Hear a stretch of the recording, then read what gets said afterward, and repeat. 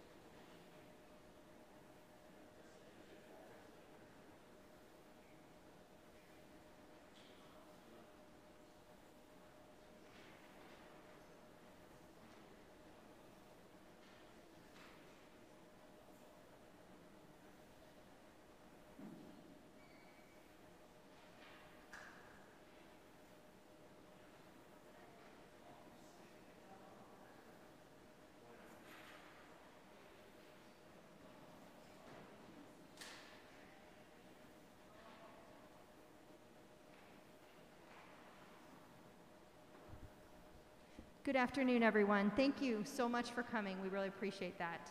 My name is Susan Luker, and I lead our PSR and Sacrament program here at St. Peter. I wanted to give you a couple reminders today. Um, we do ask if you would need to use the restroom, just go ahead as needed. Um, we don't have gobs of restrooms here in the church, but if it's needed, you'll head to these back, these back double doors and head over to the my right, your left, um, and there's a restroom there. There's also restrooms down the stairs. Um, we will also open Ursuline Hall if there is a need for that as well. Um, we will have a break, but we ask that during the break that this is a little bit more of a listening break rather than a going into the gathering space and talk break. So if you could please remain in your seat or stand and just stay with your sponsor unless you need to go walk around, we would appreciate that. And if there's a need, we also have some water in the gathering space that you can come get at any time um, if you need that refreshment as well. Uh, lastly, I would like to introduce, no, I'm not going to actually introduce, but we have a re retreat team here to um, present our retreat to us, and they do a fantastic job. So thank you so much, and they will introduce themselves.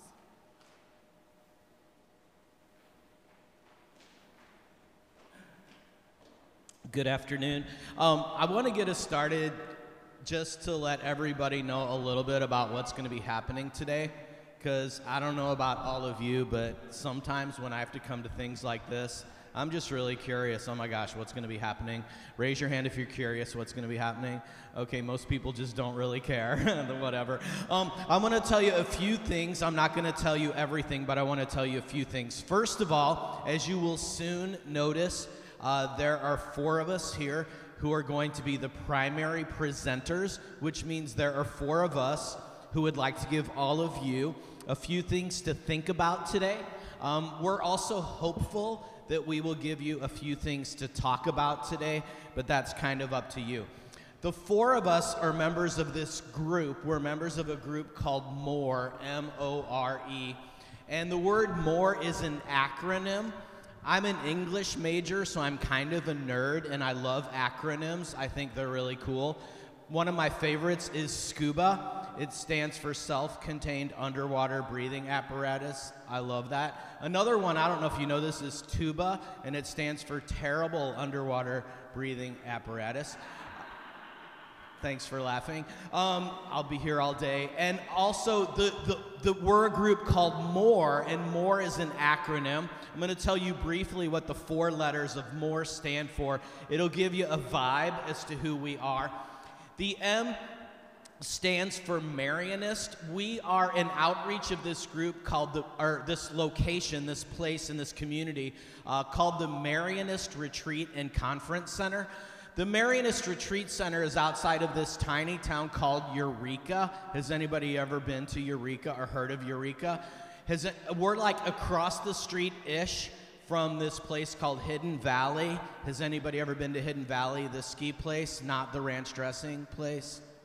That's different. Um, but we're across the street from Hidden Valley, and um, we're also. Uh, our retreat center was founded by a religious order called the Marianists. So, a lot of people have heard of the religious order, the Jesuits. That's the Society of Jesus. Pope Francis is a Jesuit, as you may know.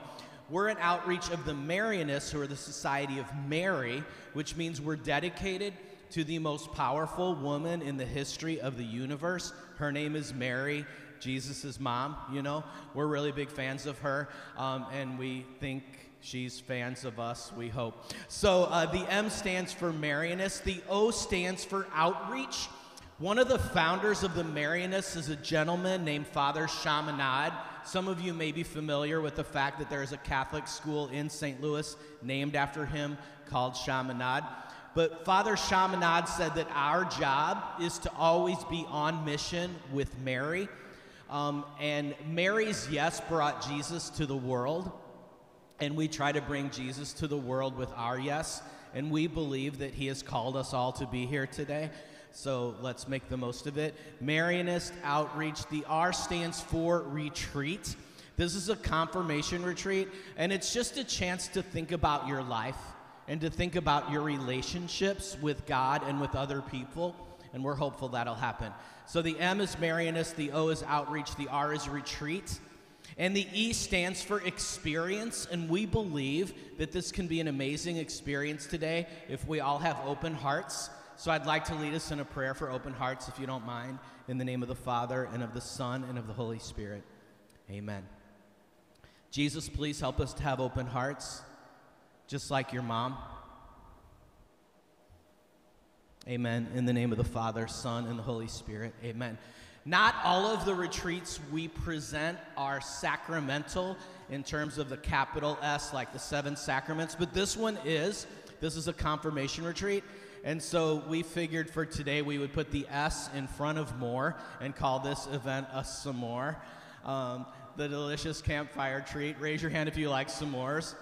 Me too. Okay. Um, so we hope you like today. Um, and that's just a little bit about who we are. I want to let you know that today our commitment to you is we're going to try our best, and we'd like you to try your best. We are not perfect. I like to tell people that at the beginning of any event we do. This will not be a perfect day, uh, but we're going to try, and we'd like you to try. So, just a little bit about that. We're going to try to talk about things that are important. We're going to try to do that in ways that'll make sense to everybody here, but we're also going to mix it up and we're going to do some things that are a lot more serious and we're going to do a few things that are a little bit more fun.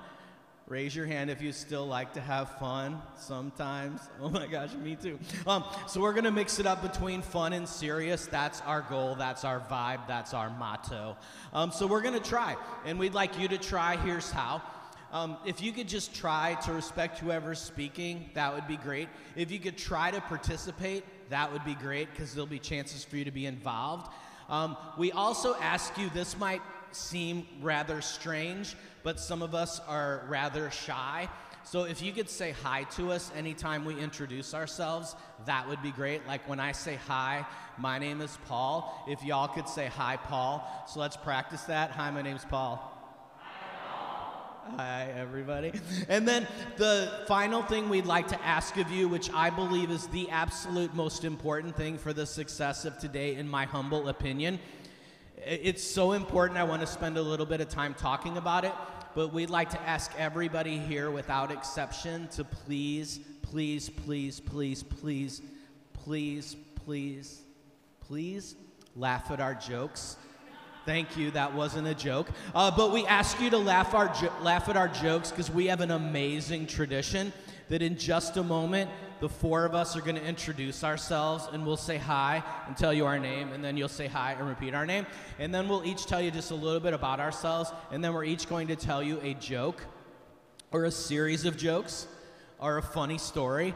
And I don't know if any of y'all here today have ever tried to tell a joke or a funny story and you think it's really, really funny. And when you're done telling it to your friends, they just look at you like you're an idiot. Raise your hand if that's ever happened to you, dads. Yes, it happens. Um, so we would ask you to laugh, please, even if you don't think we're funny. It's called charity. We also ask you to laugh, even if you're one of those people that don't get jokes. Most of us have at least one friend like that in our friend group who they never get jokes. Um, stop pointing at people, but um, it would be really good if you could just laugh anyway and we'll explain them to you. So that's it. It's so important to me that you laugh at our jokes. I'm gonna ask you a little favor. I'm gonna count to three. And after I say three, I would like everybody here, as well as everybody watching this on live stream, at the count of three to please do your best and loudest and fakest laugh. Wait for it. One, two, three. All right, thanks. Just fake it till you make it. Um, we are so happy to be here, and so I'm going to pause right now. I'll be back, but I'm going to ask the three people who are on the team with me to come up. Remember, say hi to them, and remember to please laugh at the funny things they have to say. They're actually a pretty funny crew, in my opinion.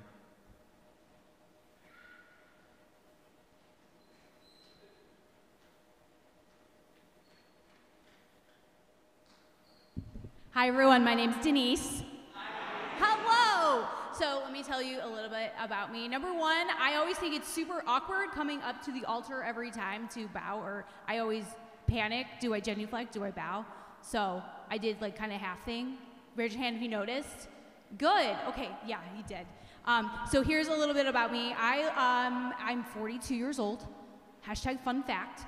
I uh, am married to my husband, and I have two stepsons. One is married also, and one is engaged. So it's really exciting because we just had a really great Christmas, and everyone came home. It was lovely. Uh, we also um, we got a new puppy. Does anyone here have a dog at home or a puppy? Yes, God bless you all. My puppy is three months old, and it's a monster. It's a blue heeler. Uh, if you've never heard of a blue heeler, it's also called a, uh, an Australian cattle dog. And so he thinks I'm a cow and will walk, like chase me around and like bite my heels, blue heeler, bite my heels and bark at me, like no matter where I'm going. So it's very hurtful. Like I, I'm not a cow, but it's maybe inspired me to um, get back on the, the low carb wagon a little bit. So I have the best job in the world. First, you have to know about me. I love reading. Does anyone else love reading? Okay, I love streaming everything, and sometimes I combine that where I read and stream at the same time. I also love wearing costumes. Yes.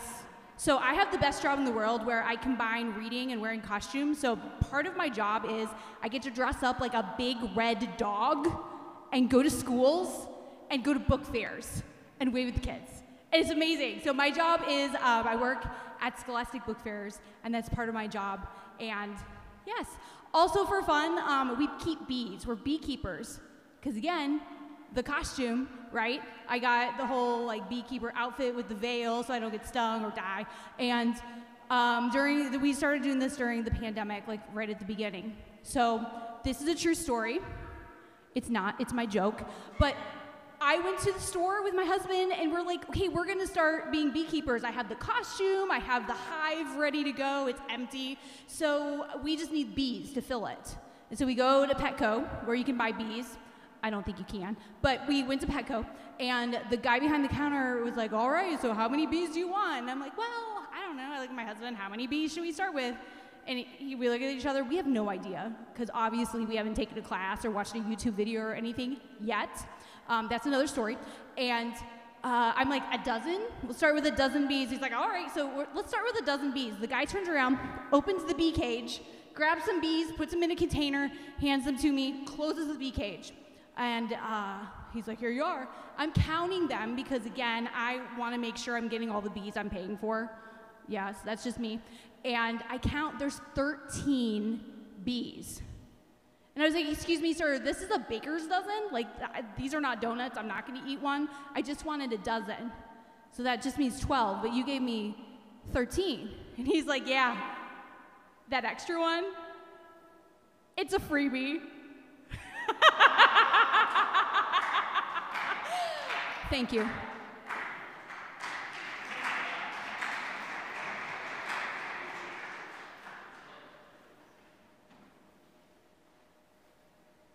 Hi there. Uh, my name's Luke. Hey, how's it going? Um, I- guess a few things about me. I live in St. Louis. Anybody else here live in St. Louis? Cool. I actually live in Webster Grove, so I'm your I'm your neighbors here. To those who live here in Kirkwood, uh, grew up here my whole life. I went to DeSmet Jesuit High School. Anyone else here thinking about DeSmet or went to DeSmet? Okay, it's a great school. I went to St. Louis University for college. Go Bills. Any any Billikens out there? Anybody like Billiken basketball at least? Okay, a few more. Cool, cool, cool. Um, I currently work at an e-commerce software company um, that's based in Brentwood, so that's kind of cool. Besides that, um, normally I say I'm a big Cardinals fan. I am, but right now, obviously, big into the Blues. Any Blues fans out there? Anybody watch the Winter Classic last weekend? That was a pretty fun one. Yeah, cool. Um, and then let's see, two other things that I recently have gotten into.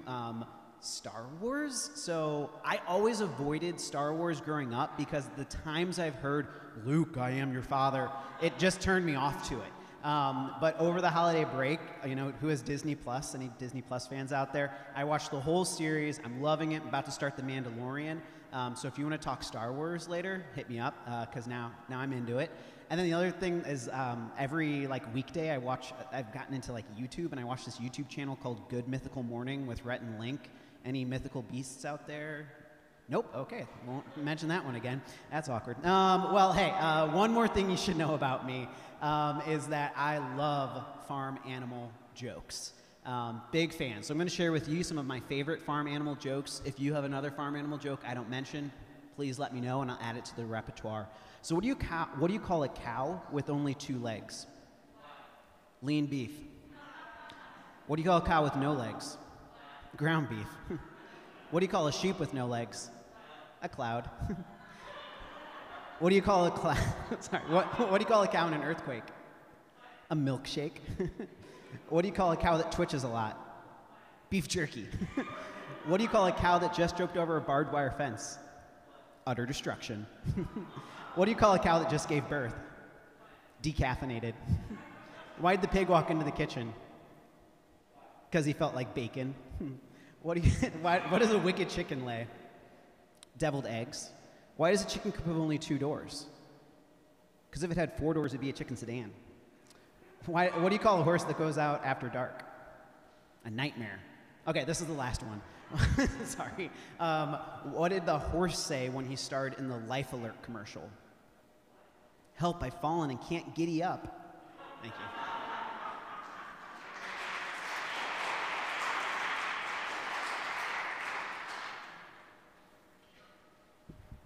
Hi, my name is Bart. Uh, so he asked me to tell you a little something about myself. Uh, first of all, I realize I think we're live streaming here. Uh, for all of you at home, uh, the camera definitely puts on 20 pounds. It's, these guys can tell you I'm super skinny. Um, so let's see a little something. I'm from Sacred Heart, right down the street on the other side. Uh, anybody here? No, from Sacred Heart. I got one. I got one parishioner with me. All right, awesome. Um, I got to behave then, I guess. Uh, let's see. What about me? Um, let's see. I'm 28 years old. Twice. Plus one. Uh, let's see. What else about me? Um, uh, I like hockey as well. I did go to DeSmet. I also went to SLU as well. Um, oh, great news from the doctor. I'm eight months pregnant, expecting a boy. Just kidding. It's really a girl. Uh, let's see. What else do I got? Um, oh, I do actually have two girls. One's married, uh, lives in Kansas City. The other one is engaged. She's down in Cape Girardeau. So hopefully later on this year, both of them will be off the payroll. Uh, that's always exciting. Um, What else, man? Um, I do. I do work. Uh, I have a very, very difficult job. Um, you know, I don't know if I would encourage this to anybody else, but uh, it's, a tough job. So what I do, and I have to do this like every single day, and uh, I know it's, it, it's it's it's tough, but uh, my job is to eat ice cream every single day. I know. I mean, how does he do it? I, don't, I don't know. Yeah. Um, so yeah, I do own an ice cream shop, and uh, it, it's a lot of fun, but it can be difficult sometimes. Um, for instance, this one day we just happened to be out of uh, chocolate ice cream, and I had a customer come up, and he goes, uh, I, I would like three scoops of chocolate ice cream. And I said, Oh man, I am so sorry. I said, You know, we, we just happen to be out of, of chocolate ice cream today. Is there anything else I can help you with? He goes, Well, he looks at the menu I'll take two scoops of chocolate ice cream. I'm like, Come on, guy. I, I you know, I, I'm all out of chocolate ice cream. You know, look at my menu and, and, and let me know, is there anything else I can help you with? So he's looking and finally he goes, All right, I'll take one scoop of ice, uh, chocolate ice cream. I'm like, All right, dude bear with me here. Can you spell van like in vanilla ice cream? And that guy's like, all right, V A N. Great, that's awesome. How about straw, like in strawberry ice cream? I was like, S T R A W. That's awesome, that's good. Can you spell stink like in chocolate ice cream? And he goes, well, there's no stink in chocolate. I go, that's what I've been trying to tell you.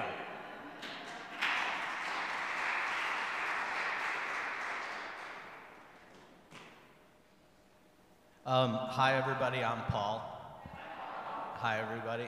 A little bit about myself. I'm 58 years old. That's not my joke. It's not funny at all. And I'm married. My wife's name is Lisa, and she's really pretty. So, yay me. Um, I live in this part of St. Louis called Maryland Heights. Um, although I live in Maryland Heights, I'm a country boy at heart. I love all things outdoors. Who enjoys being outdoors? Please raise your hand if you enjoy doing any of these things outdoors. Sometimes when I'm outdoors, I love to do nothing, and I'm really good at it. Um, I also like to go for walks and I like to go hiking, and our family does a lot of camping. We like camping, um, and I also like fishing. Anybody like fishing? But my favorite is hunting. I'm an avid deer hunter. Any deer hunters in the house? Uh, if we could talk. Um, I had a really good deer season this year. My freezer is full, and so is my heart. And I uh, grew up in a family with five sisters. I don't have any brothers, so that's why I understand women. That was a joke, yeah. Um, and uh, let's see, I, uh, I don't know. I, I, one thing about me, I don't know if any of y'all can relate to this but I'm one of those people that I have a lot of awkward moments that happen in my life. Raise your hand if you have a lot of awkward moments that happen in your life. Any awkward people? Okay, it's awkward to raise your hand to admit it. Um, and I have a uh, for you uh, a, a hilarious series of doctor jokes. These are totally dad jokes. So if you love dad jokes, buckle up. If you hate dad jokes, get ready to roll your eyes. Since it's a series of doctor jokes, they're going to require a little bit of patience. Patience, yeah, okay. Um, so there is this doctor, extremely talented, could diagnose the weirdest conditions that people had. So he shows up on a Monday morning, and there are four people in the waiting room who have issues they can't figure out. So the first guy comes into the doctor's office and he said, Doctor, I don't know what's going on. I seem to hurt everywhere. And the doctor says, You hurt everywhere. Guy's like, Yeah, doc, watch this. Ow! Ow! Ow! Doctor said, Sir, I know what's wrong with you. You have a broken finger.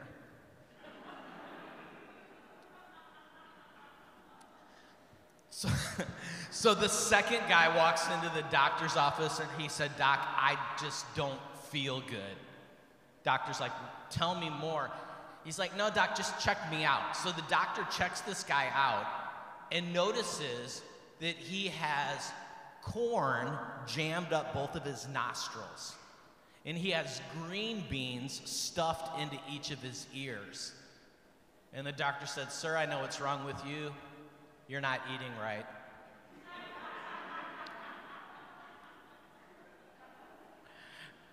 So, so the third guy goes into the doctor's office and he's like, Doc, my leg. I don't know what's wrong with my leg, but it's weird. So the doctor said, Tell me more. He said, No, doc, take your stethoscope and listen to my knee. And the doctor listens to his knee and hears a voice coming out of his knee saying, Give me $5. Doc's like, That's weird. He's like, No, doc, listen to my shin. And the doctor does, and here's a voice coming out of his shin saying, Could I have $50, please? Doc's like, That is so weird. He's like, No, doc, listen to my ankle. And the doctor hears a voice coming out of this guy's ankle saying, Could I have $100? As soon as possible, I'd really appreciate it. Doctor says, Sir, this is so weird, but I think I figured out what's wrong with you. Your leg, it's broke in three places.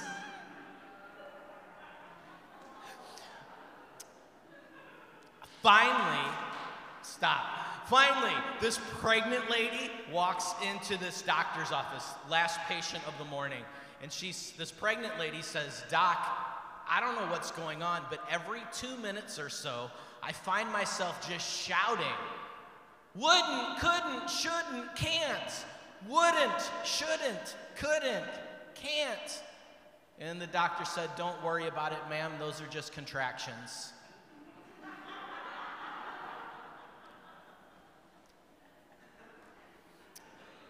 Thank you. Um, we are so happy to be here, and I hope it's cool with all of you.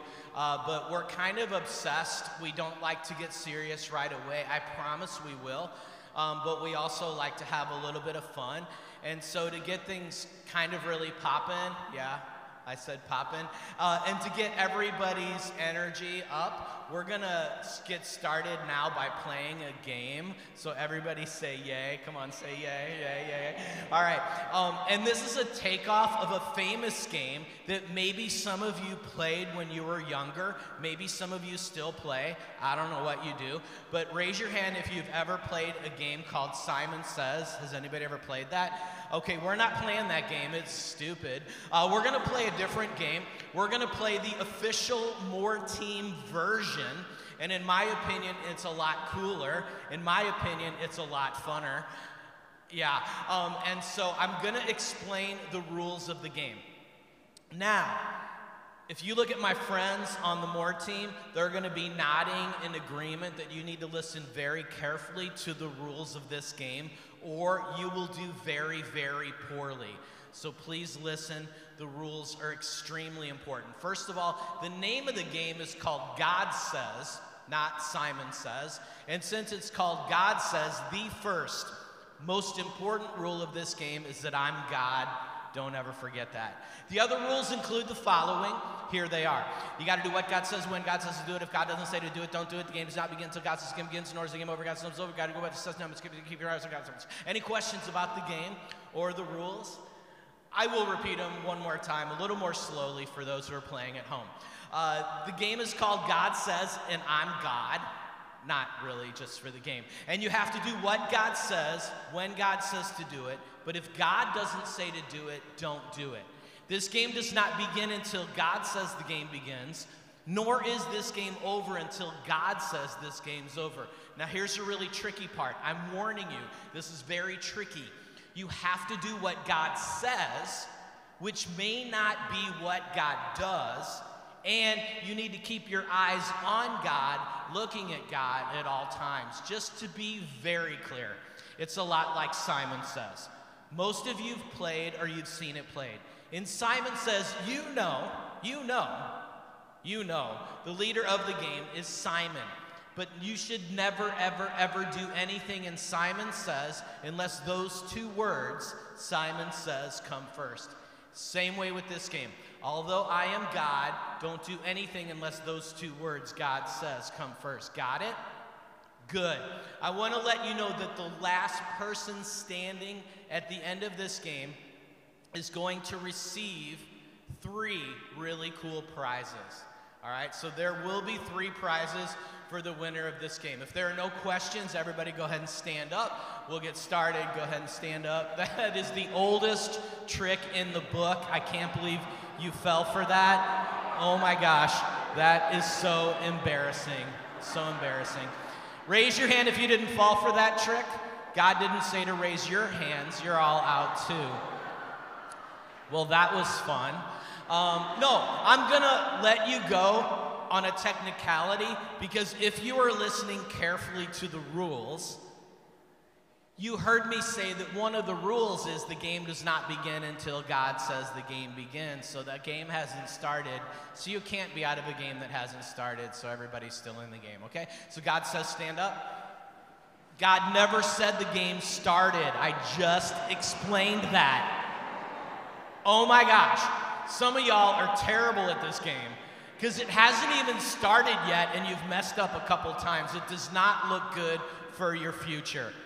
I mean, in this game, okay? Um, but uh, even though some of you've messed up twice, you still can't be out because God never said the game started, but I was just having some fun. So God says the game begins now. God says, stand up. And God would highly encourage those who are watching this live stream to try to see how well you can do against God in this game. God says, sit down. God says, stand up. God says, sit down. Isn't this fun? God says, stand up. God says, put your hands up. God says, put your hands down. Put your hands up. No, no, no, no, no, no, no, no, no. God says, put your hands down. No. God says, put your hands on your hips. God says, touch your ears, touch your nose. Hands up. Your hands should not be up. Hands down. Your hands should not be down. God says, put your hands down. God feels bad for the people who are out already because it didn't take you long. And one of the things that those of you who are out, I hope you've learned about God, especially as you're going through the confirmation process, I hope you've learned that God always forgives. It's true. It's my favorite characteristic of God. So, since God is so forgiving, those of you who are out can come back in, stand back up for a second. God didn't say you could come back in. That's my favorite trick. God says, come back in for real. God says, everybody stand up. God says, everybody's back in the game. All right. Um, God says, however, we are now moving into the final championship round. God also says this will be a lightning fast speed round. Oh, yeah.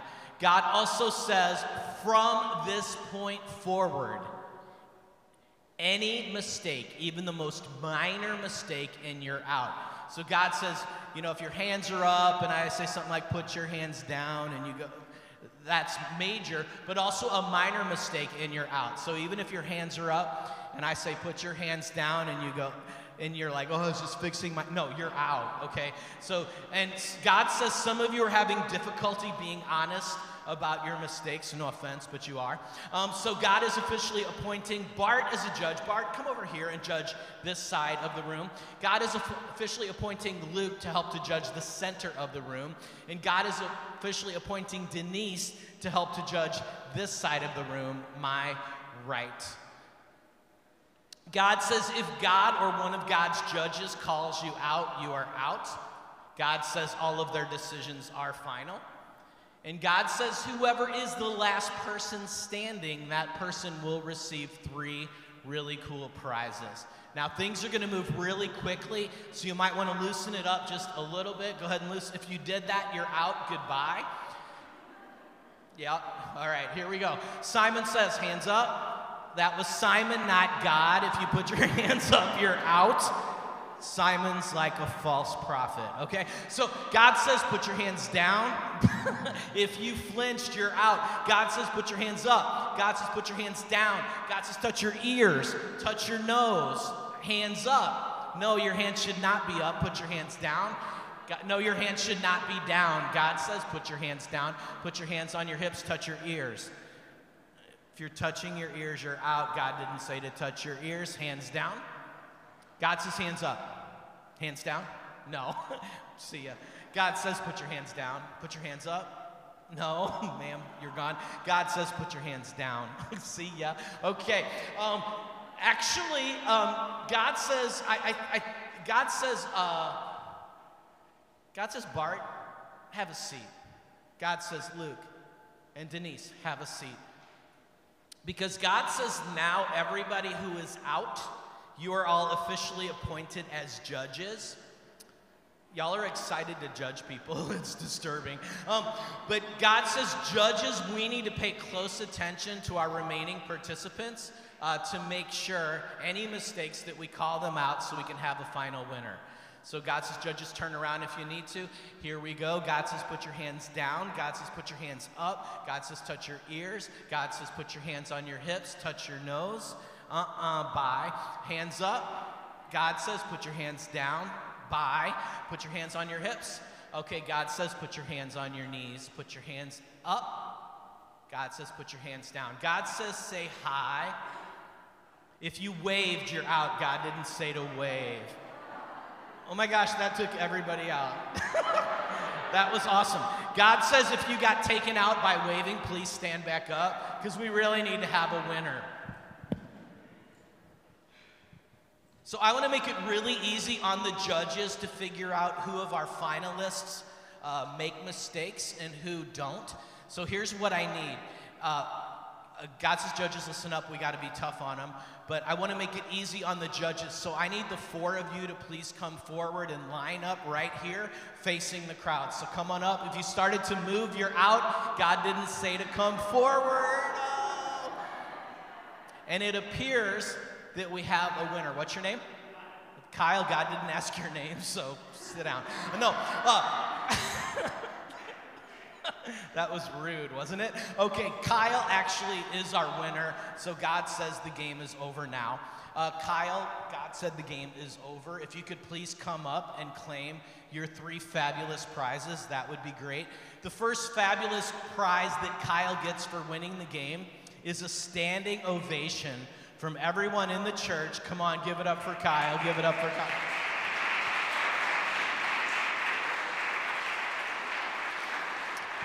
The second, fa- go ahead and sit down. And God said the game's over, so you can actually sit down. Uh, the second fabulous prize, Kyle, you receive is a limited edition collector's item, in fact, vintage, Marianist Retreat Center pen. Applause, applause, applause, yeah. And the third fabulous prize is a Got Chocolate Milk lanyard. I told you we had really cool prizes. Let's give Kyle another round of applause. Thank you all for playing. Um, so, what we're going to do next is we're going to actually move right in to our first serious portion of the retreat. I want to set it up by saying a couple things that are really important that I think will help all of us to get the most out of this first serious session of the retreat. Since people learn things different ways, we try to communicate things different ways. And we're going to do our first session by presenting to you a little skit. It's just this little drama. Um, and a couple things important about the drama. First of all, I assure you, we are not professional actors nor actresses. This is not going to be a Broadway production. It's just a little skit a little drama that has a really good message. Um, we also use props that are just not great. They're kind of lame because we're kind of on a budget. Um, and also, uh, after we do this little drama, you will hear from the other three members of the team. And quite simply, what they're going to do is they're going to share with you how the message of this drama relates with their lives. That's all a couple, three short talks. And then, heads up, after you've heard from the three other members of the team, you're going to have an opportunity to talk among yourselves. So, we don't ask much, but we do ask that you would tune in. Those of you who are watching at home, uh, that you would be aware if you're not, if you're at home and you're not with your sponsor. Uh, when the time comes for discussion, we'd encourage you to call or FaceTime your sponsor or find somebody else that you can talk to. Maybe your little brother or your mom or your dad or your dog or your goldfish, whatever. Um, but you will have a chance to talk among yourselves after you've heard from members of the team.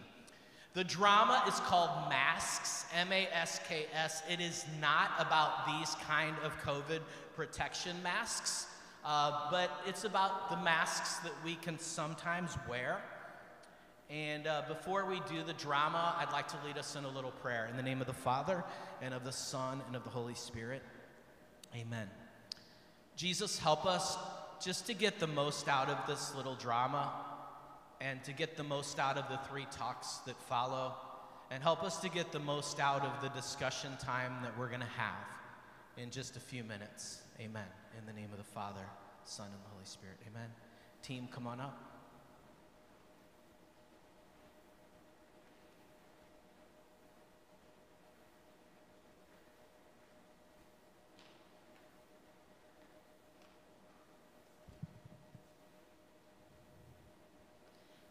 Hey, hey, Bauer, what's going on?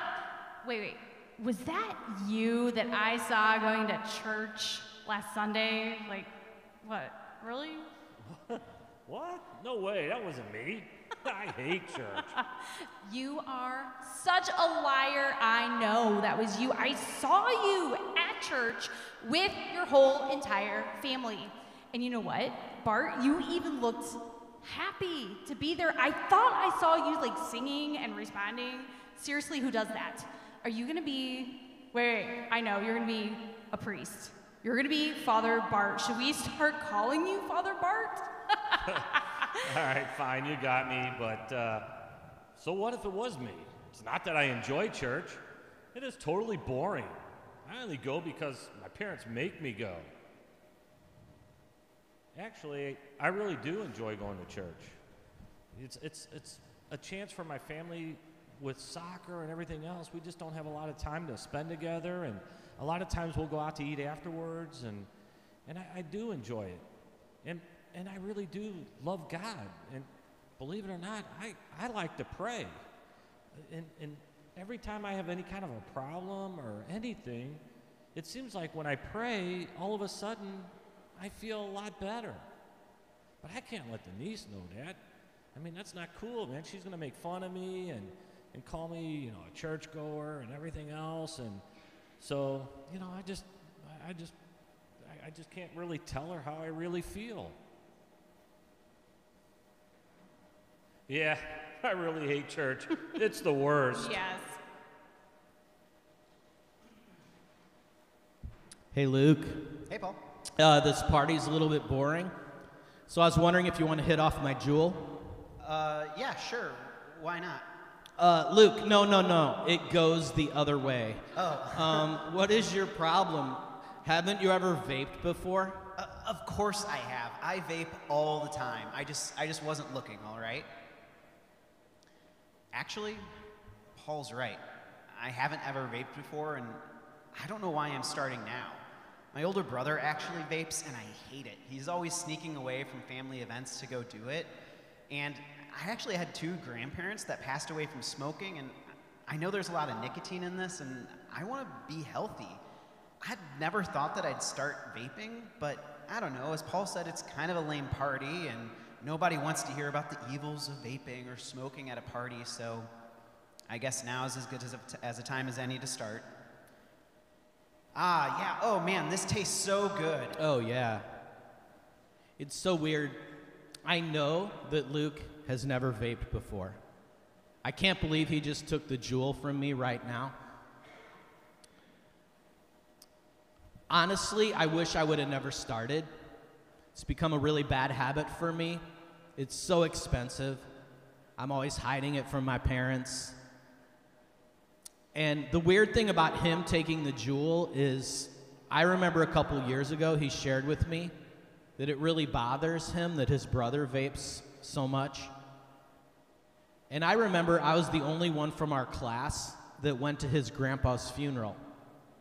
His grandpa had died of lung cancer. And we actually made a commitment to each other that we wouldn't do chemicals at that funeral. And I don't know what we're doing or why.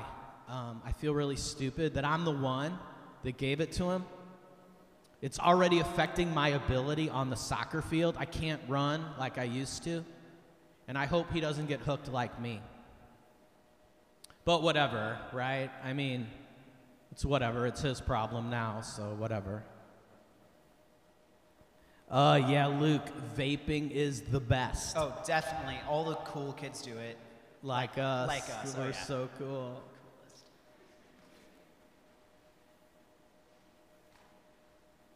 Oh my gosh, Luke, hey, hey, wasn't that a great party we were at last weekend? A lot of really, really fun people were there. Oh, I know. Bart and Paul and Susan were all there.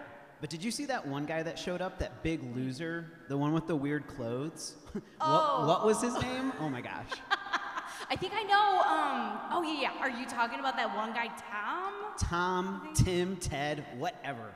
I think he's really strange. I mean, seriously, did you see the clothes that he was wearing?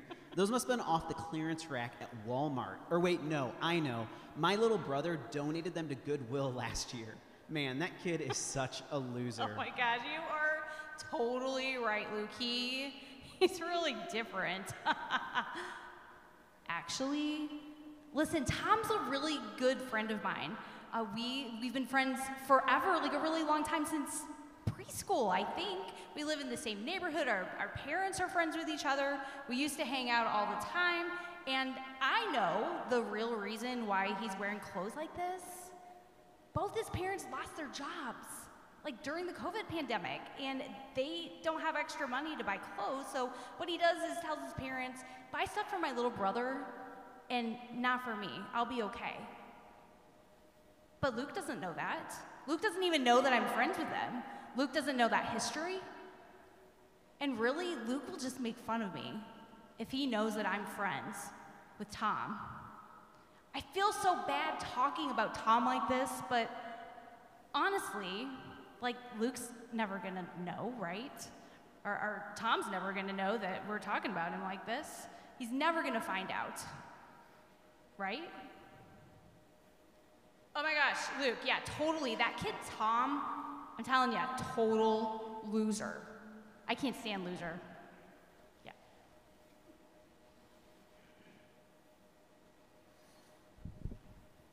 Hey, Paul. Hey, Bart.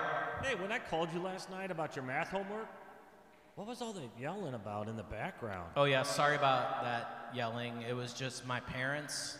They're just really loud, I guess. Well, I, I heard that they're getting a divorce. Is it is that true? Wait, you heard they're getting a divorce? How did you hear that? Your sister, she was talking about it with some of her friends, and, and the word just got out. Well, I mean, yeah, yeah, they are splitting up, but, you know, the sooner the better. It doesn't bother you at all? It doesn't bother me that much. Uh, so here's the thing, Bart. They're just my stupid parents. I'm sick of hearing them fight. And I've heard from some of my friends that when your parents get divorced, you can tell your mom you're at your dad's, and you can tell your dad you're at your mom's, and then you can go wherever you want and do whatever you want. And my birthday's coming up, so I'll probably get twice as many presents. You know, I need more stuff, so it's no big deal. Actually, it's a really, really big deal. Um, I'm going through the worst time in my life right now. I would never admit this to Bart, but lately I've been crying myself to sleep because my heart's just broken. My parents have always fought, but I never thought they would get divorced, and it's so awkward. My dad always talks bad about my mom to me. And my mom always tells me everything she hates about my dad. And I feel just caught up in the middle and I don't know what to do. But I don't want to bother Bart with my problems. He has enough troubles of his own, you know? And besides, I have a reputation at school of always being the funny guy. So, you know, when you're the funny guy, you don't want to bring other people down with your problems, right? I'm sure I'll probably be fine. So, Paul, you, you, you sure you're okay? Yeah, I'm fine. I'm fine. Thanks for asking. I'll talk to you later.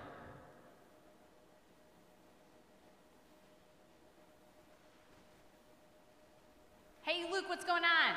Hey, did you have a good time at that party we were at this last weekend? Oh my gosh, we're going to so many parties. I know.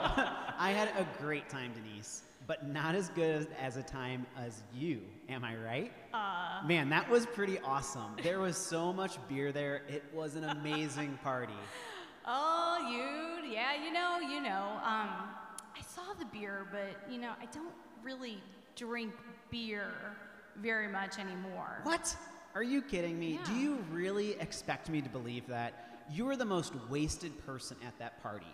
Dancing on a table with a lampshade on your head, singing along to Party in the USA by Miley Cyrus. you even snuck off for a while with Eugene. Don't tell me you weren't wasted because you had to be drunk to be hooking up with Eugene. Oh, yeah, okay. Yeah, you're you're right. Look, I, I did drink. Here's the deal. It wasn't beer. I was not drinking beer. I am beyond beer, okay? Beer is for babies. Hashtag amateur hour. Let me tell you what happened. I drank an entire pint of Jack Daniels whiskey before I even got to that party. And that party was the best. It was the best, and that was the best buzz I had ever had. I have never had so much fun in my life. Actually, that party, it was the worst. The worst night of my life. And let me tell you why. I thought it was just gonna be some friends, like going over to a friend's house. We're gonna watch some movies, maybe order pizza, and that's how it started. But then all of a sudden, all these other people kept coming over and showing up. And my friend's parents weren't home. I didn't know that, but they weren't. And they brought beer, they brought drinks. I didn't want to be the only one not drinking. So I held it in my hand for a long time, but then eventually I started drinking just to fit in. And I'll tell you, it was pretty fun, but I did some stuff that like I don't even remember doing. But it's out there on social media, so everyone remembers it now. This guy Eugene, I had no clue who that guy is. But apparently I did some stuff and made some really bad decisions. And I don't want this to be how high school goes for me. I don't want people to know me as the party girl because that's not me. That's not who I was created to be. That's not, yeah. The scariest part though, I don't even know how I got home that night. I don't remember that part. That's not safe. That's not cool. But here's the deal my friends, including Luke, all my friends, they drink. There's really nothing else to do on the weekends.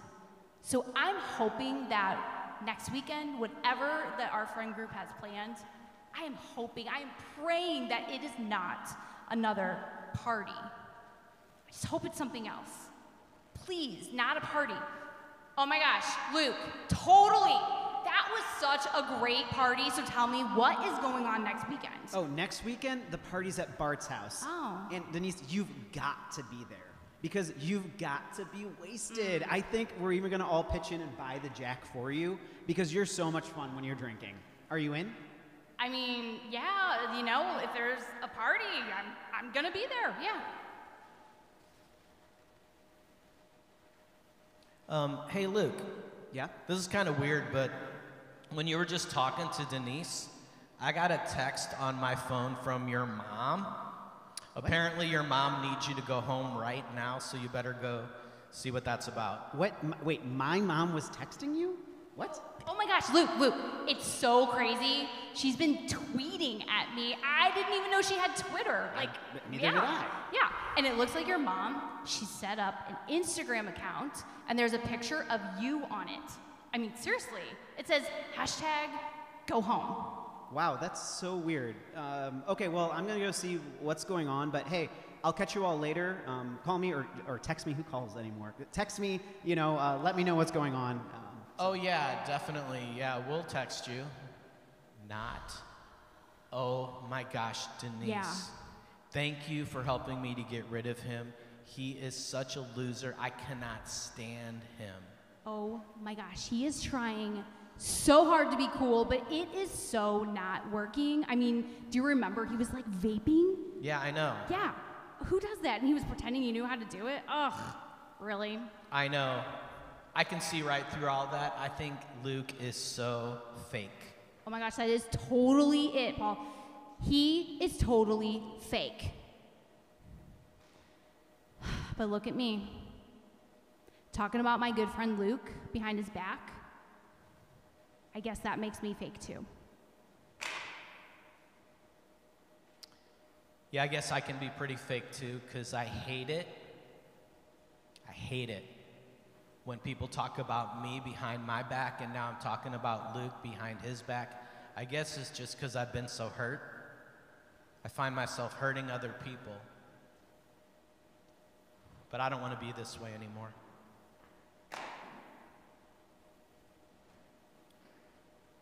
They might be fake, but I'm not. That's just the way I am.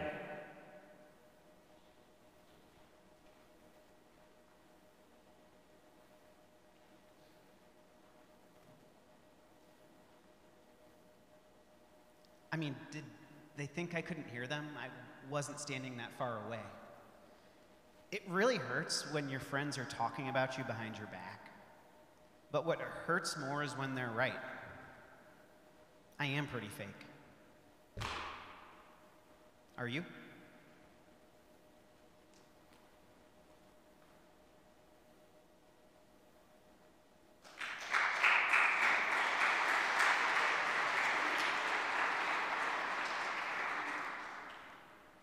Hi, my name's Luke. Hey, how's it going? And that was the drama called Masks. And as Paul said, I'm just going to share a few thoughts from my own life experience. Um, who here has, has ever been to the store J.C. Penney's? Yeah, okay, well, a lot. Yeah, it's one of those stores you kind of forget about, especially since we don't go to malls anymore. Um, but I have a very specific memory of being at J.C. Penney's with my mom when I was in middle school, when I was in seventh grade. We were there to, I don't know, pick up a tie or something. But on the way to the register, my mom pulled me over to a rack of clothes and showed me this t shirt right here. It says, Got Jesus. So, two things you should know about me at this point in my life as a middle schooler. One, that Got Milk campaign, you know, the athletes with the milk mustaches, was alive and well when I was in middle school, just like I'm sure it is now. Milk was kind of a daily part of my life. I drank it in the morning. I like milk and I like puns, and this was clearly a reference to that campaign. The second thing you should know about me is I grew up Catholic. I went to a Catholic grade school. Um, I went to Mass on Sundays with my parents. I raised my hand in religion class. I sang in the all school choir at all school Masses. And I even prayed to Jesus. He was kind of a day to day part of my life, like milk as well. So when my mom offered to buy me the shirt, I said, yeah, sure. It's, it says a couple things about me. It's kind of punny. Great. Didn't really think a lot about it. Until that coming Friday evening, it was the seventh grade girls CYC soccer championship game. Place to be on a Friday night. When I was in seventh grade, I don't go to those anymore. Um, but uh, it was one of those coming of age times where my class was going to be getting together outside of school um, and be, be hanging out, you know, on the blacktop at, uh, on a Friday evening. And it was one of those rare opportunities that I had where I wasn't going to be in my school uniform and I actually got to choose what I wanted to wear. So I went to the closet and I pulled out, you know, the best pair of khaki cargo shorts I could find.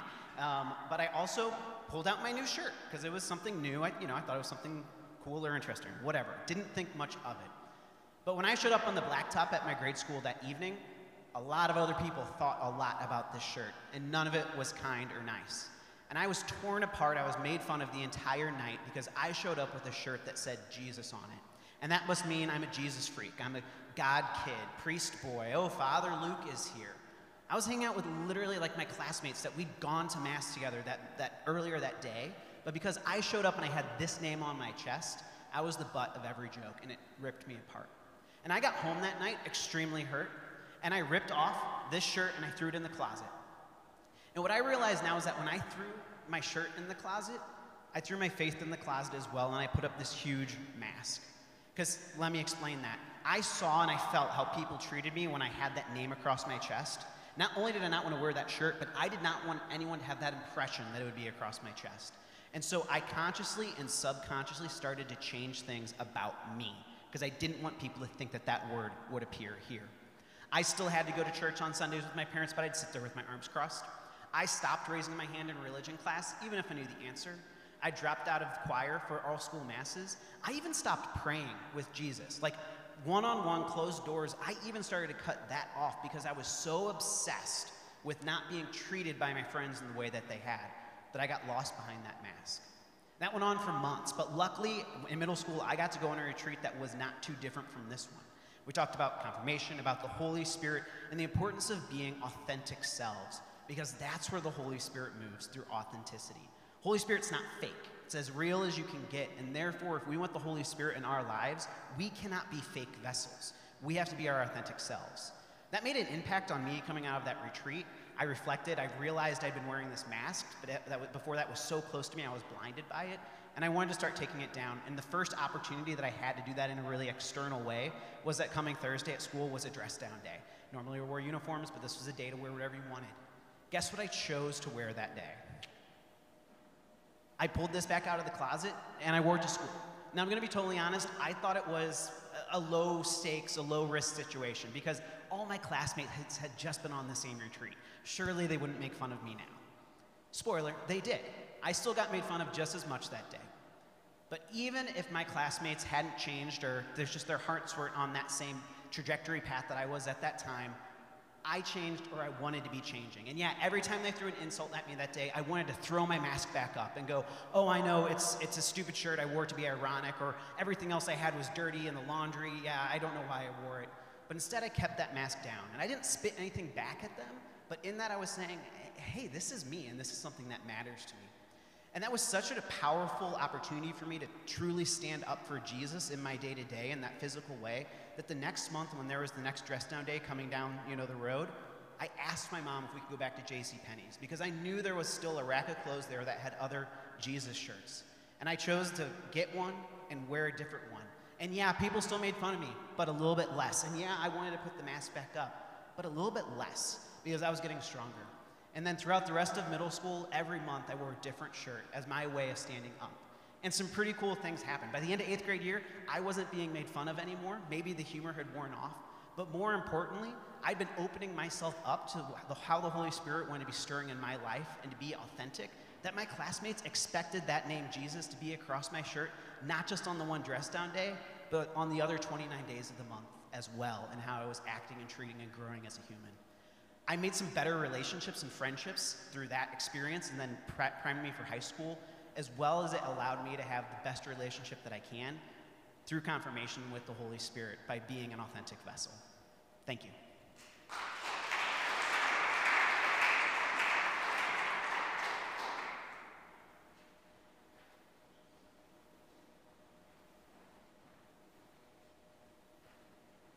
Hi, my name is Bart. So, how many of you here know that um, Mary is the mother of Jesus? All right? And how many of you know that Jesus is the Lamb of God? Okay, so does that mean that Mary had a little lamb? I'm just kidding. So, why, why do we wear masks? Is it because we want to be somebody else?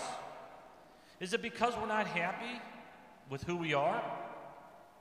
So I've been here for a little while now. I want to tell you how awesome each and every one of you really are.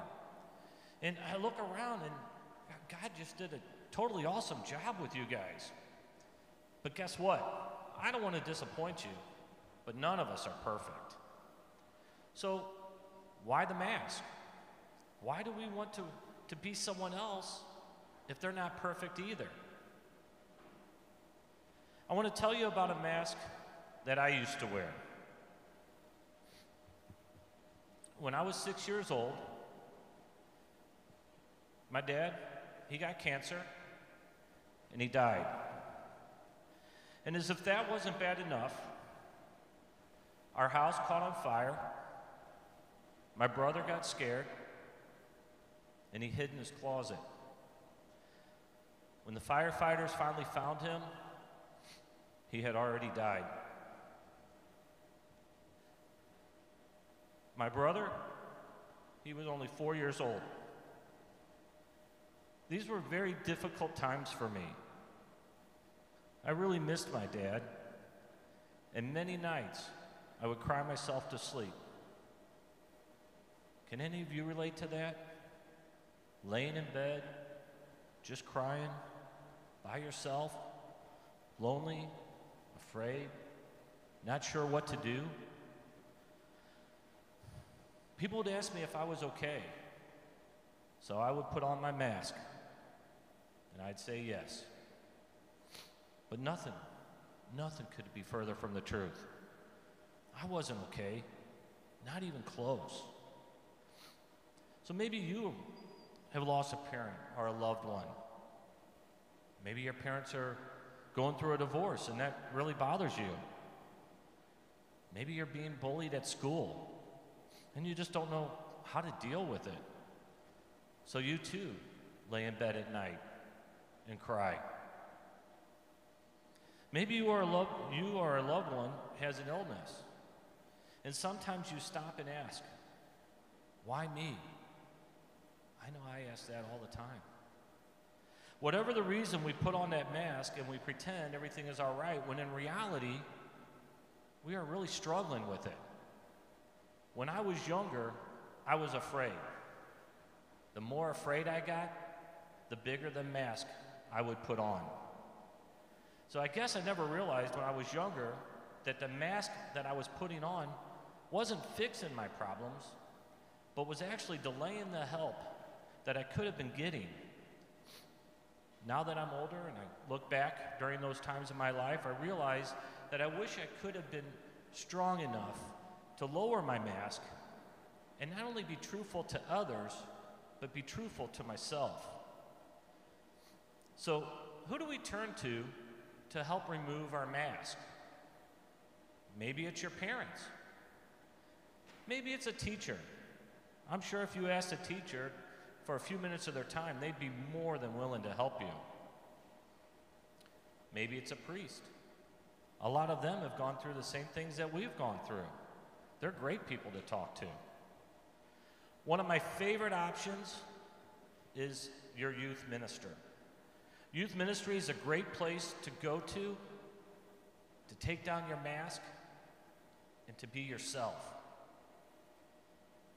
Maybe the person sitting right next to you, maybe your sponsor is that person that you can turn to and, and share what struggling, what you're struggling with. Sponsors, as a sponsor myself, it is such a privilege when someone asks us to be a sponsor. But sometimes as adults, we feel we have to have that magic answer, or we feel we have to give the best advice. But in reality, the best thing that we can do is just listen. The best thing we can do is best described by St. Francis of Assisi. And he says, always preach the gospel, and when necessary, use words.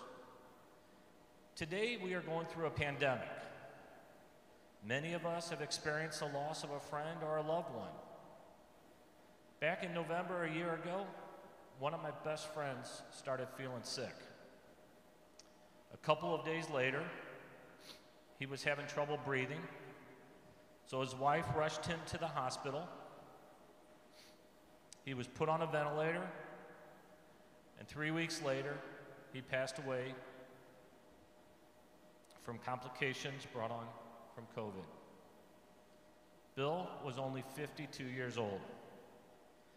Bill and I played golf every week that year. We have been on vacations together, family vacations. We would even go on two or three golf trips every year. We were good friends. His daughter, Amanda, who turned 21 a year ago in November, she works for me. Now that she's in college, when she comes home for the summer, she still works for me. Since I've been friends with Bill for over 30 years, obviously I've known Amanda since she was born a year ago in November when she turned 21. That was the first. That was the first birthday she had to celebrate without her dad being there. So there are many times when I ask myself, what is golf going to be like without Bill? I start to get very upset, but now instead of putting on my mask and keeping all these feelings bottled up inside, I'll call one of my friends that also knew Bill, and we'll share stories. And then I think to myself, who's going to walk Amanda down the aisle when she decides to get married? If she ever decides to have kids, just like my daughters, they'll never know who their grandpa was. So I start to raise my mask again.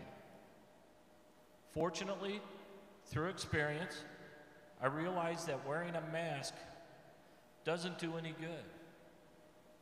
So instead, I will pray to God and ask Him to send the Holy Spirit to come into my heart and help me get through this. And you know what? Seems like it works every single time. Now, more than ever, we need to look out for each other. This pandemic is affecting everyone in one way or another. We should be checking in with our kids, listening to them. We should be checking in with our family and friends and make sure that they are doing okay. Make sure that they are not trying to get through this all alone by wearing a mask. If we see our kids our friends struggling, we should help them not by talking to them, but by listening to them. And more importantly, we should be praying for them, asking God to send the Holy Spirit into their lives. I want to finish by reading a verse from the book of Revelations. I am standing at the door, knocking. If you hear my voice and open the door, I will come into you and eat with you, and you with me. I wish I could stand here, tell you I had all the answers, but I don't. But this I can tell you with certainty. Every time that I blame God for the death of my dad and my brother, I had to put on a mask. And every time I let God into my heart, I was able to lower my mask. Folks, Jesus died on the cross for us. Now it's up to you. Are you going to open up that door for Jesus? Are you going to you going to let God into your heart? Are you going to remove your mask? Thank you.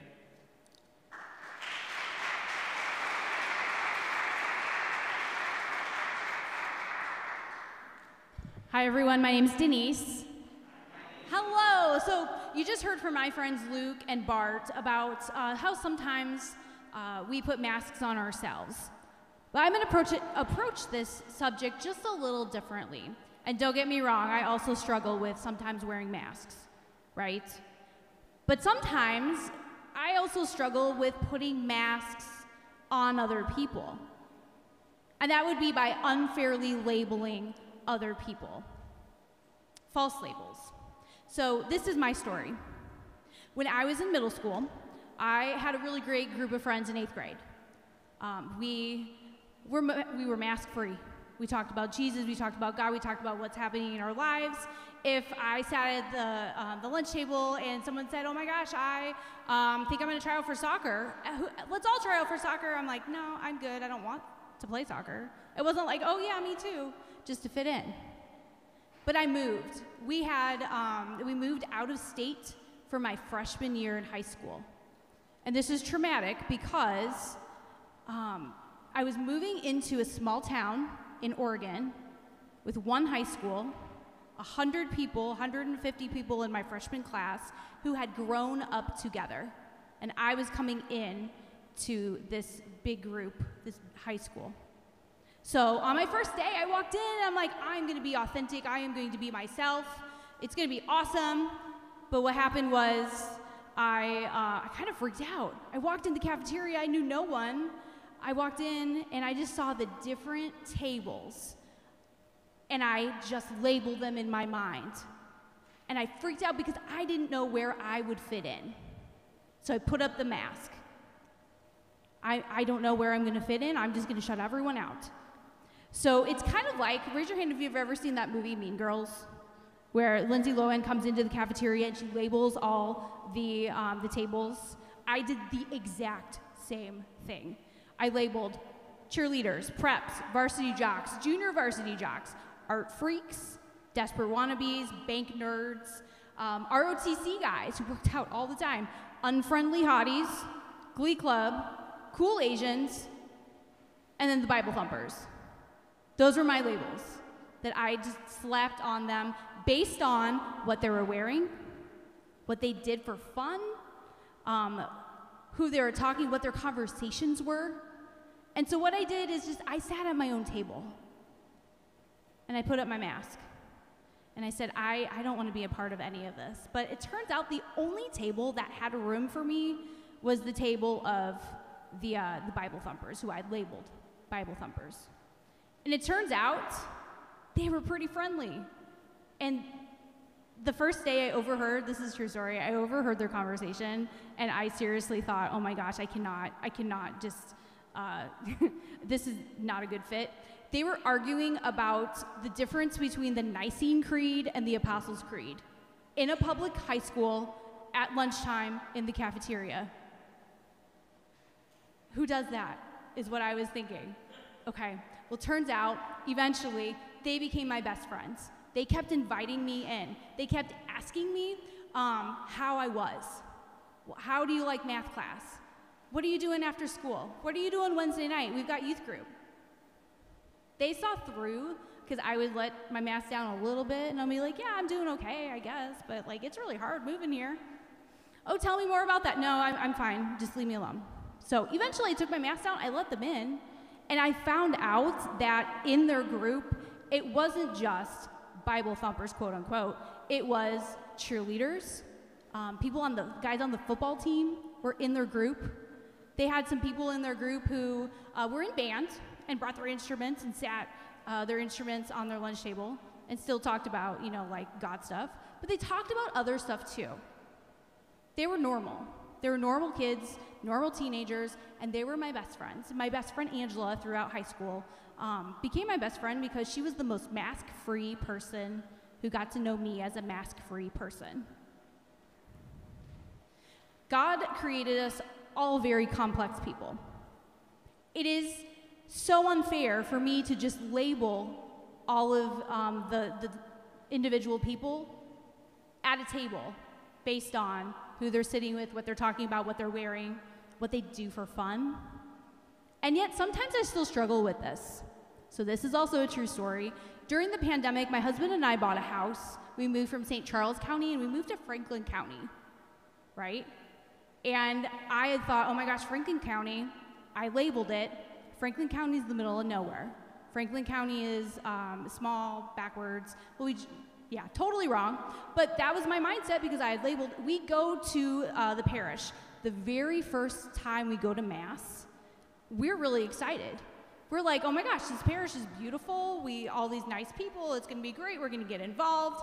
We walk up to the door, um, and someone, this lady, very well dressed lady, came through she did not hold the door open for us. Instead, she let the door literally close in our faces.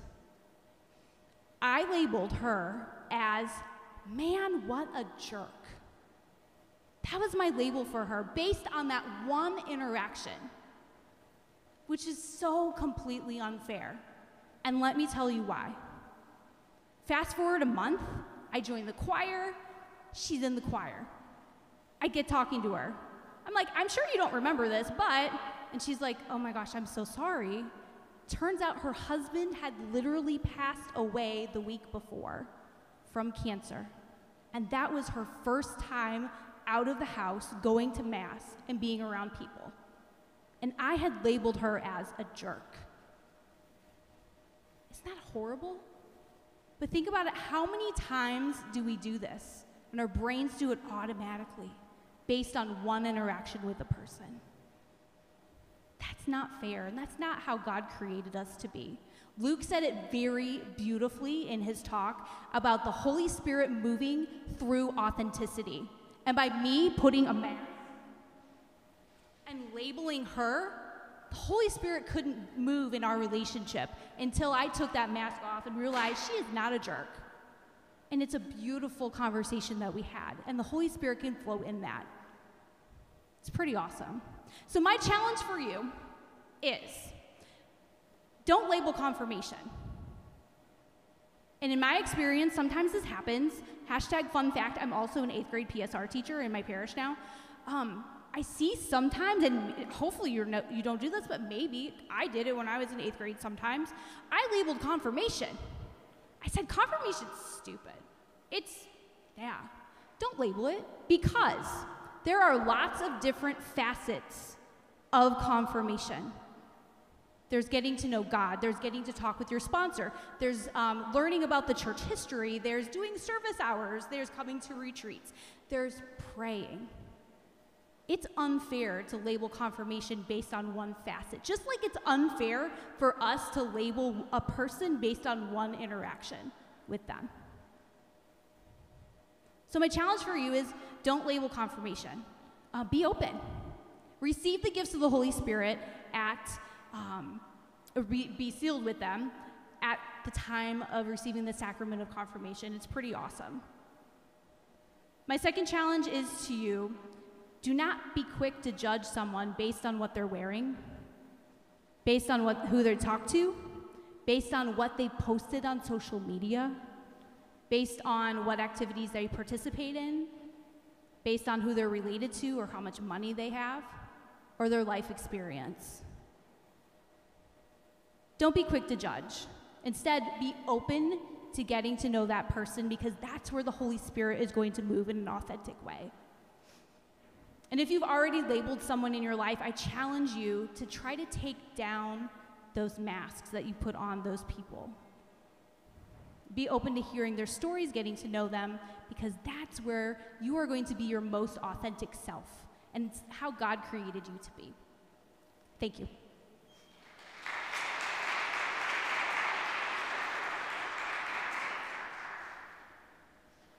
If you don't mind, I'd like to lead us in a little prayer about this in the name of the Father, and of the Son, and of the Holy Spirit. Amen. Um, Lord Jesus, help us just to be aware, more aware of the masks that we wear, of the masks that we put on other people.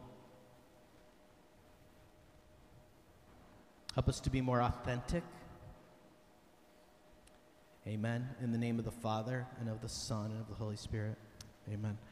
Um, so I mentioned before the drama that what we're going to do after the drama, and that's what we're going to do now. I do want to give you a heads up that there's going to be, we're going to give you a, a chance to talk among yourselves a little bit. I'll guide that process.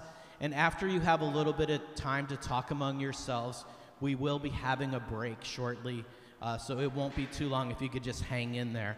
Um, also, I know y'all have been sitting a while, so for this student sponsored discussion, and I should apologize because I know some of y'all are not sponsors, you're substituting for a sponsor.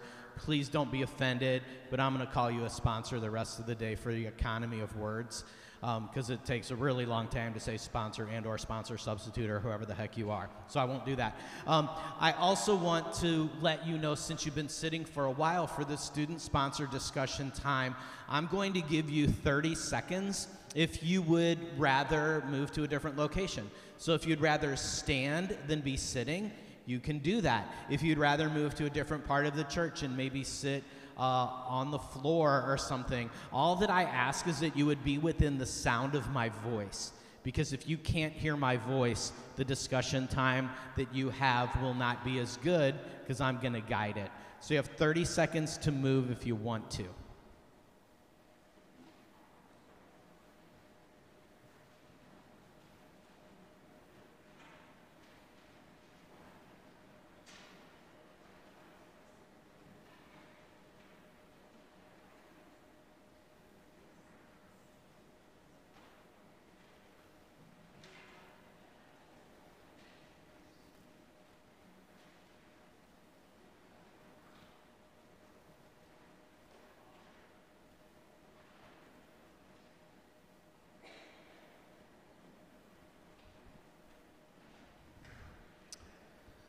All right. Um, so this is primarily a time for each student and sponsor just to have a one-on-one conversation. Um, if you end up joining up with another student and their sponsor, I won't be mad. Uh, but for the sake of time, it would probably be best if it's a student and sponsor discussion time. Um, whenever I facilitate discussion times like this, I think it's really important that everybody would be on the same page. And for those of you who are live streaming, this would be a good time to maybe get your sponsor on the phone if you can, or FaceTime them, and you can follow along with us in the discussion questions. Um, so, uh, I guess a couple things. Uh, one thing is it's important in a group discussion like this uh, to know. Uh, well, let's pray first in the name of the Father, Son, and the Holy Spirit. Amen. Jesus, please bless our discussion time. Amen. In the name of the Father, Son, and the Holy Spirit. Amen. Uh, whenever I facilitate a discussion, I like to lay a foundation that I think is really important. The first thing I want to let you know it is a time for y'all to talk to each other. Um, I want to encourage the sponsor in particular uh, to consider. Uh, responding to Luke's call to vulnerability because if you are vulnerable and you're honest, I have a feeling the student with you will follow. And if you're not, they might not. Um, so I encourage you. Um, also, I want to let you know whenever there's a discussion like this, even though there are discussion questions, it's important that you don't have to answer a question if you don't want to. I always tell my small groups you can always say skip, or you can say pass, or you can just like look at the person next to you and be like, please leave me alone. Um, and the reason I want to give you permission to do that is I don't know about all of you, but I've had days where I wish people would leave me alone. Raise your hand if you've ever had a day, even once in your life, where you wish people would leave you the freak alone. Most of us have had days like that. If that day is today for you, please say it to the person that you're with. I hope they'll respect that. I would add to that, please talk, because if y'all don't talk to each other, this is going to be really socially awkward.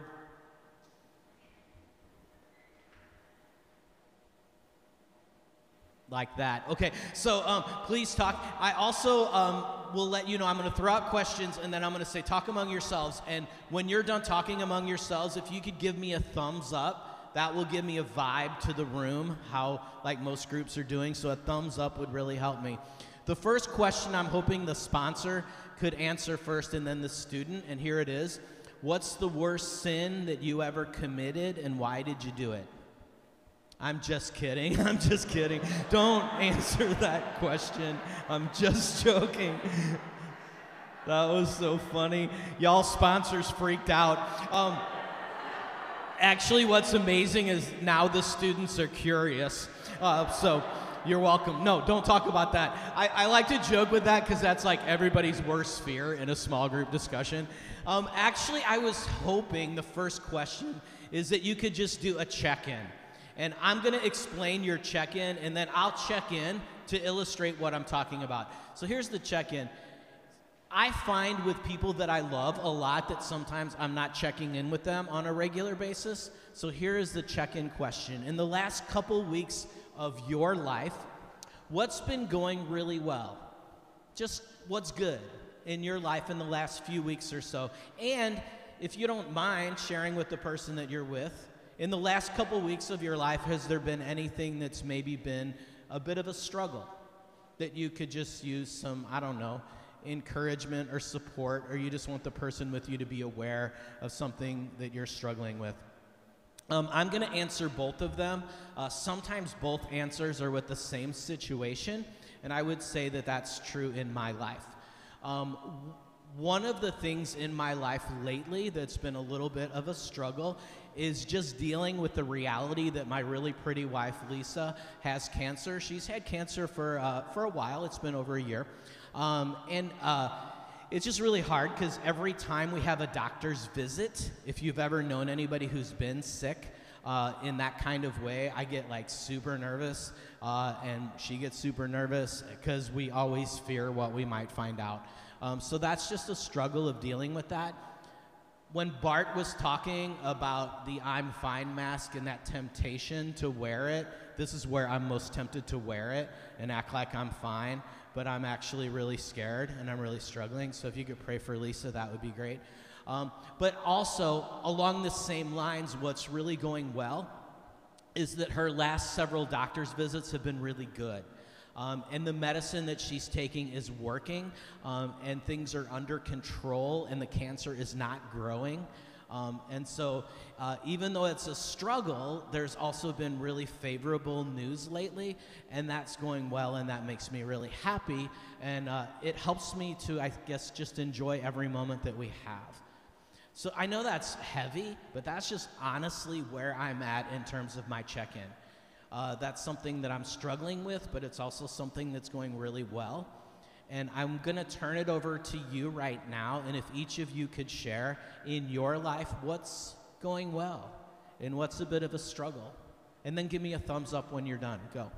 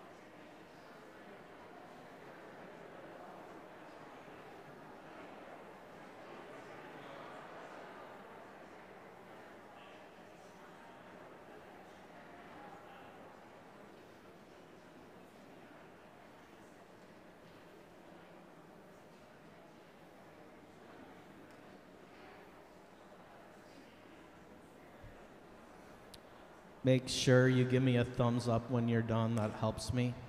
Okay, I'm going to give you another minute for that question. One more minute ish.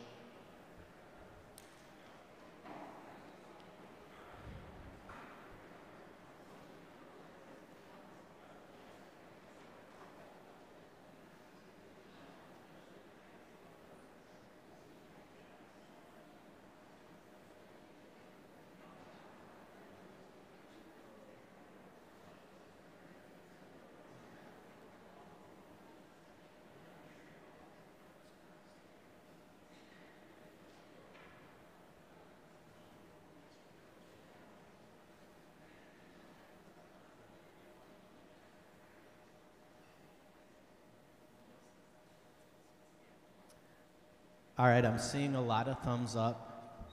So I need to say this. Um, I'm going to try to go at a pace that's reasonable, but if I'm rushing you, you don't have to answer the next question. You can go back to the previous one. I'm just going to try my best, all right? Um, so uh, the next question that I want to ask is just a survey question.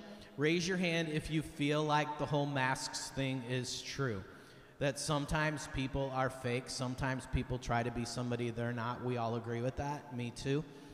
Then, my follow up question to that is you heard from Denise and Luke and Bart examples from their lives. Can you give an example from your life of a time that you were fake and what you learned from that? I know that might be hard to admit, but I would encourage you to consider. I will give you a plan B. I'd prefer that you take plan A, but plan B is you could give an example of a time you saw somebody being fake. However, if you describe somebody else's mask, I'd like you to be intentionally vague about that. no names, because some of you know some of the same people. And I don't want anybody saying something like, yeah, this kid Kyle who won the game earlier, oh my gosh, that dude is so fake. Don't do that because it's probably not true. But the purpose is not to talk about people, that would be counterproductive. The point is to illustrate what we're talking about. So, either a time you were fake or a time you saw it happening. I'm going to give you one of each really quick. The first time that I remember being fake was in seventh grade. Seventh grade Paul wanted to be really cool, and seventh grade Paul didn't know how to be cool. And grown up Paul still doesn't know how to be cool, but whatever. But um, I, there was this group of guys in my neighborhood. I thought they were cool because they were like tough guys. And I noticed that they cussed a lot. And so seventh grade is when I started cussing around that group of guys. I didn't cuss around my parents or my teachers or my cousins because I really respected them, but I only, only cussed around that group of guys because they cussed. And I thought if I cuss with them, they'll think I'm cool. And it kind of worked, but it was really fake. I'm actually a really bright person. I have a really well developed vocabulary. I'm an English major. I like words. But around that crew, it was four letter words, you know? And that's just not authentic. So the cussing mask for me. A quick illustration of a time I saw it happening. I have her permission because if she was here, she would tell you. But my own daughter, Audrey, uh, started wearing a huge mask when she was in sixth grade. She became best friends with this girl who talked about people behind their backs constantly. And so my daughter started talking about people behind their backs constantly with her friend who did that. She went to a small Catholic grade school. If you've ever talked about people behind their back, you know a lot of times it gets back to them. And that happened. Later in her sixth grade year, my da- honest to God, my daughter would wake up in the morning crying because she didn't want to go to school because she thought everybody hated her because they probably did. And we talked about it a lot, and we saw a counselor. And my daughter, of her own volition, decided to apologize to each girl and guy in her class that she had talked about. And they all forgave her. They all forgave her. And she had a brand new start. But she was not being her authentic self. She's a really kind and beautiful person. But she fell into that trap. So that's an example of a time I saw somebody being fake. That's an example of a time I was fake. I'm going to turn it over to you. Uh, and what did you learn is the part B of that question. Either a time you were fake, you saw it happening, and what'd you learn from that? And then give me a thumbs up when you're done.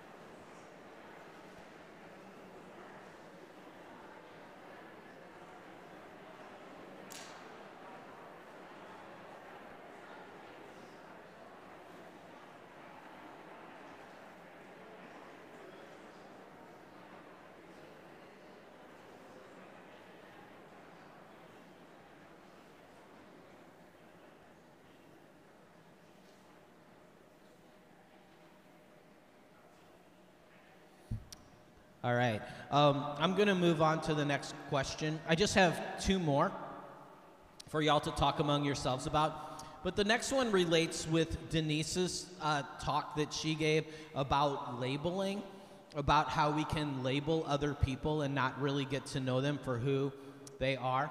I would say another part of that is some of us have maybe struggled with being labeled unfairly.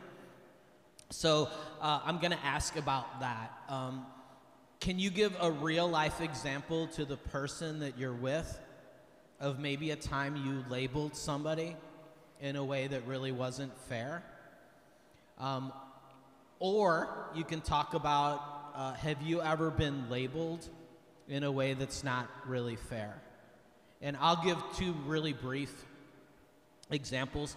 In grade school, I was labeled um, as like the smart kid in my class.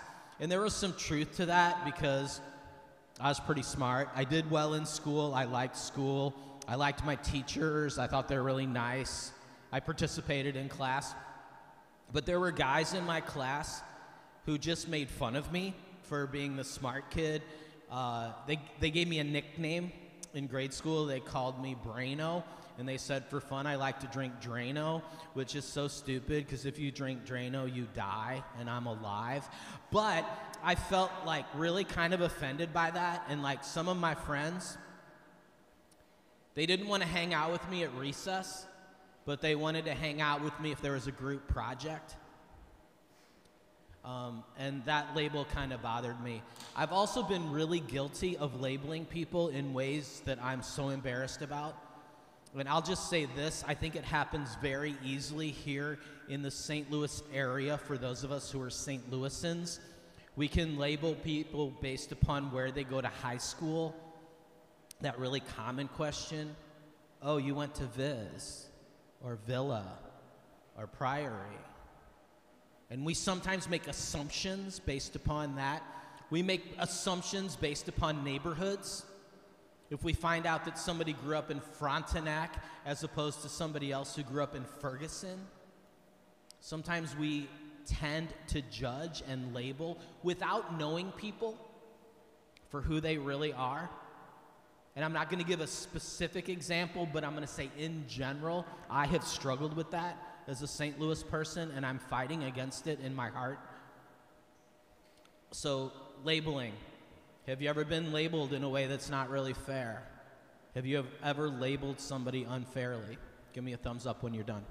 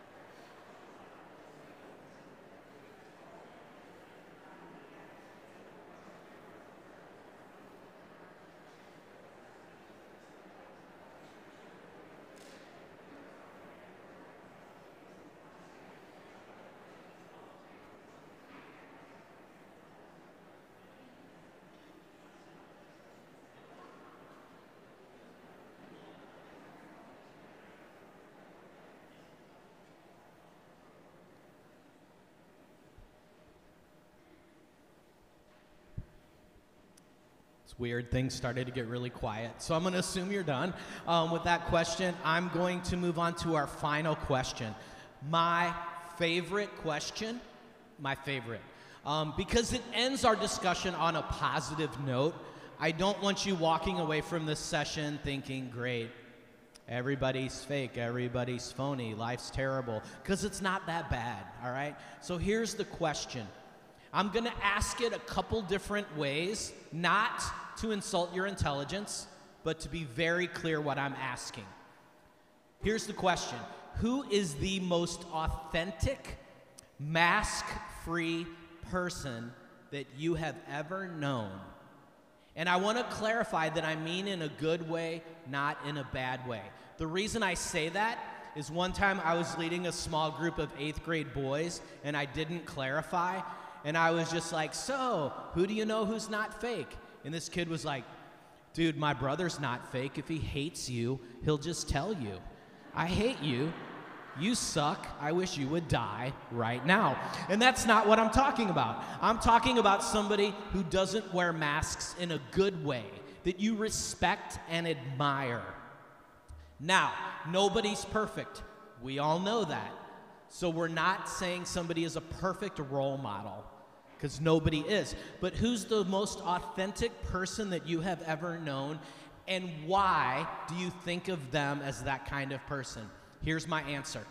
I know a few people like this, but one of them is my very good friend Dominic.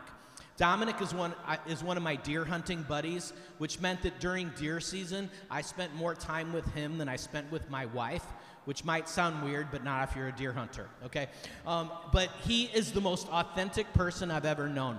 And one time I was hanging out with his little brothers, and his little brothers told me that they were considering having rubber bracelets made with the initials WWDD. For what would Dominic do? Instead of WWJD, you see what they did there? They were not being sarcastic, although they frequently are. But in that case, they were like, for real, Paul, when we don't know what to do in a situation, we ask ourselves. And sometimes we ask each other, what would Dominic do in this situation? And we know that what our brother would do would be the right thing. I think that's really cool that younger siblings would look up to an older sibling with that kind of respect. My friend Dominic, one of the most authentic people I've ever known. If I lived my life by WWDD, I'd be a much better man. So that's my example. Please share with the person that you're with who's the most mask free person you've ever known and why.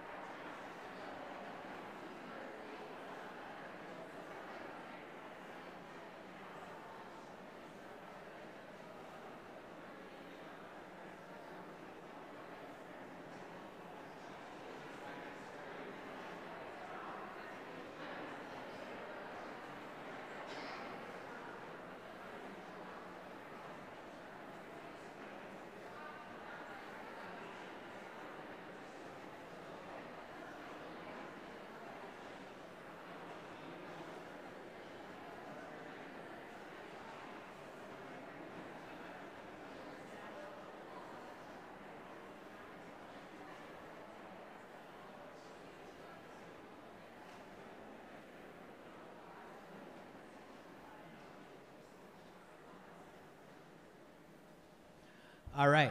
Um, before we take a break, which we will very soon, um, I have just a couple, uh, uh, two challenges, I guess, and then closing comments to this discussion time.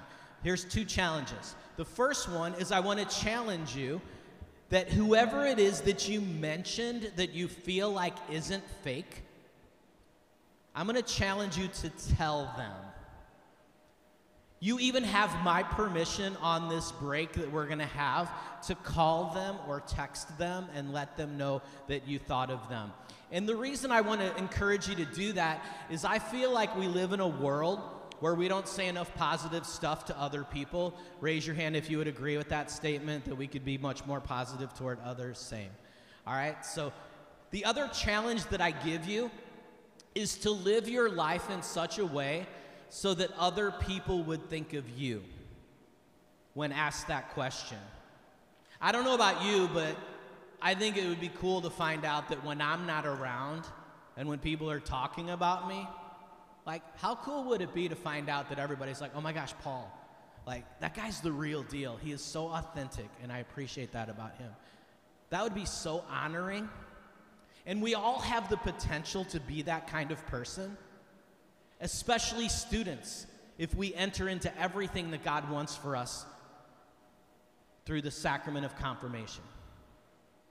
So the first challenge is to tell that person. The second challenge is to be that person. Finally, just a couple quick words about why. People have asked me, and it's a fair question. A lot. People have said, Paul, why is the first thing that you talk about on a confirmation retreat masks? What does that have to do with confirmation? I believe it has everything to do with confirmation because I think confirmation is about a decision to follow Jesus to be the best versions of ourselves. And I think the best versions of ourselves are, is us just being mask free. If you need, need a little background, a little backup on that statement, a couple quotes from people who knew what they were talking about. Um, one of our Catholic saints, Saint Teresa of Avila, she said the beginning of the spiritual life is self knowledge, which means we need to know who we are because who we are is who God loves. So this masks thing is all about self knowledge. Father Chaminade, one of the founders of the Marianists, said, What is essential is the interior, which means it's really essential that we know who we are on the inside and we not cover that up with a mask. Pope St. John Paul II, he once said to a group of teenagers, I urge you to remove the masks of your false self. And finally, uh, this is just one of my favorites. In the Catechism of the Catholic Church, section 2711, it says that in prayer, what we do is we take down our masks and we open up our hearts to the one who loves us the most. That's a paraphrase, but it's pretty close. Um, so I think this has a lot to do with confirmation. I think it's important for all of us. Students, I want to be clear. We are not saying to you that y'all got issues because y'all are fake. We all struggle with this in different ways. But it's really important to keep it on our radar we are going to move into a 15 minute break. Susan's going to say a couple really quick things about this break that are really important. For those of you who are watching on live stream, we are on break until 2:45, but we will be starting up promptly at 2:45. Come on up, Susan. Don't break until she says stuff.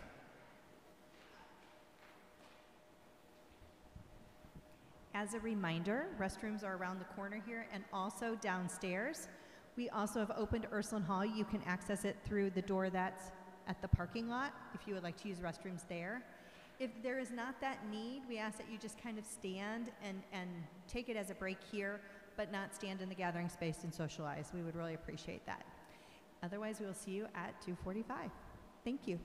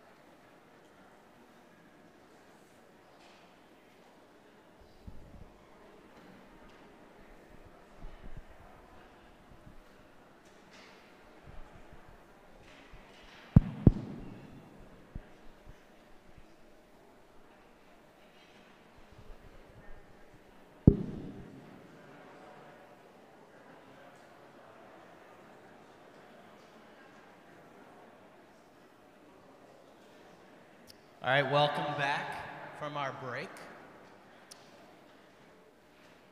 We're going to uh, just move into our next uh, serious session of the retreat, um, and we're going to do so uh, by doing another one of our dramas. And uh, to set up this drama, I'm going to ask everybody to try, uh, just if you don't mind, try to use your imagination. Um, there's just two ways that I'd like you to use your imagination during this drama. One is I want you to pretend uh, that Bart is Jesus. So, who is Bart? Right, uh, but not real life, just pretending like, yeah, imagination. So, Bart is playing the role of Jesus in the drama. Another way that will help you get more out of this drama is you, if you use your imagination, and I want you to pretend that Luke is everyone in the whole wide world. So, who is Luke? Right, so we have Bart playing the role of Jesus, Luke playing the part of everybody in the whole wide world. The drama is called Jesus Stay, S T A Y, Jesus Stay, and we hope you like it.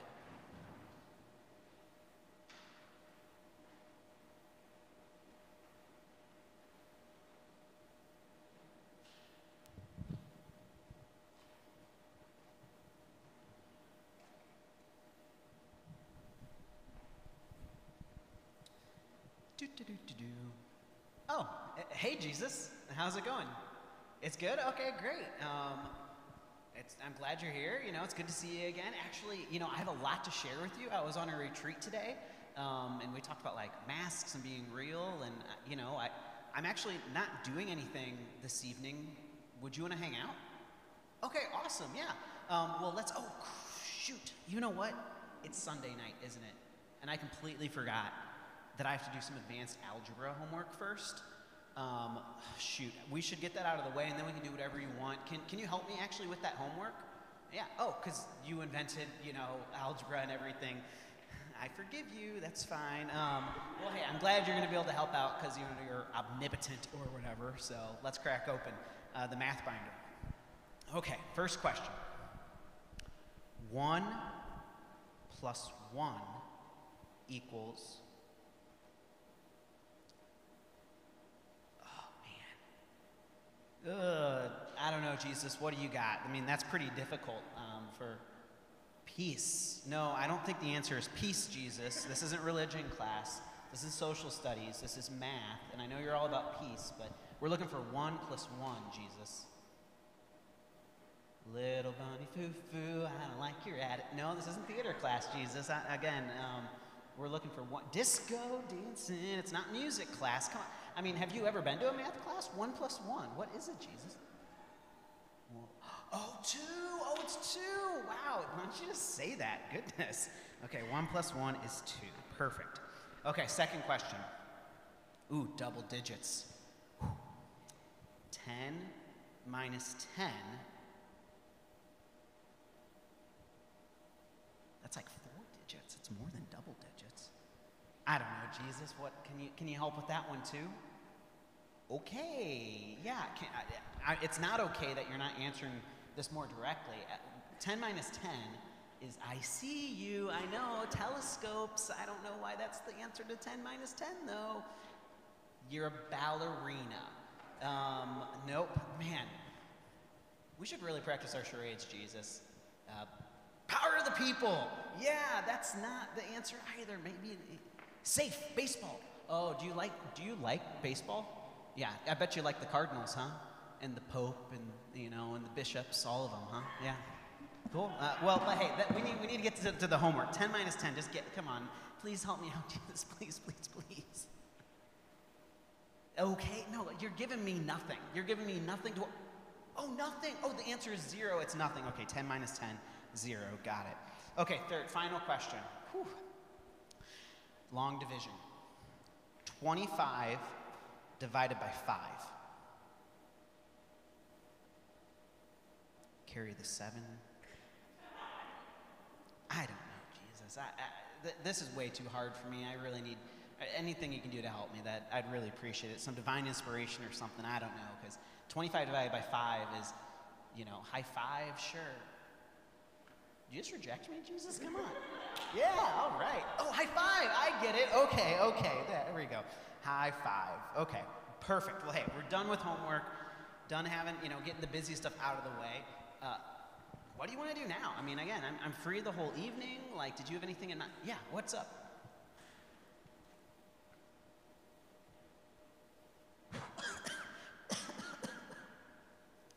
Okay, let's see. What's this? The, the Holly Bible.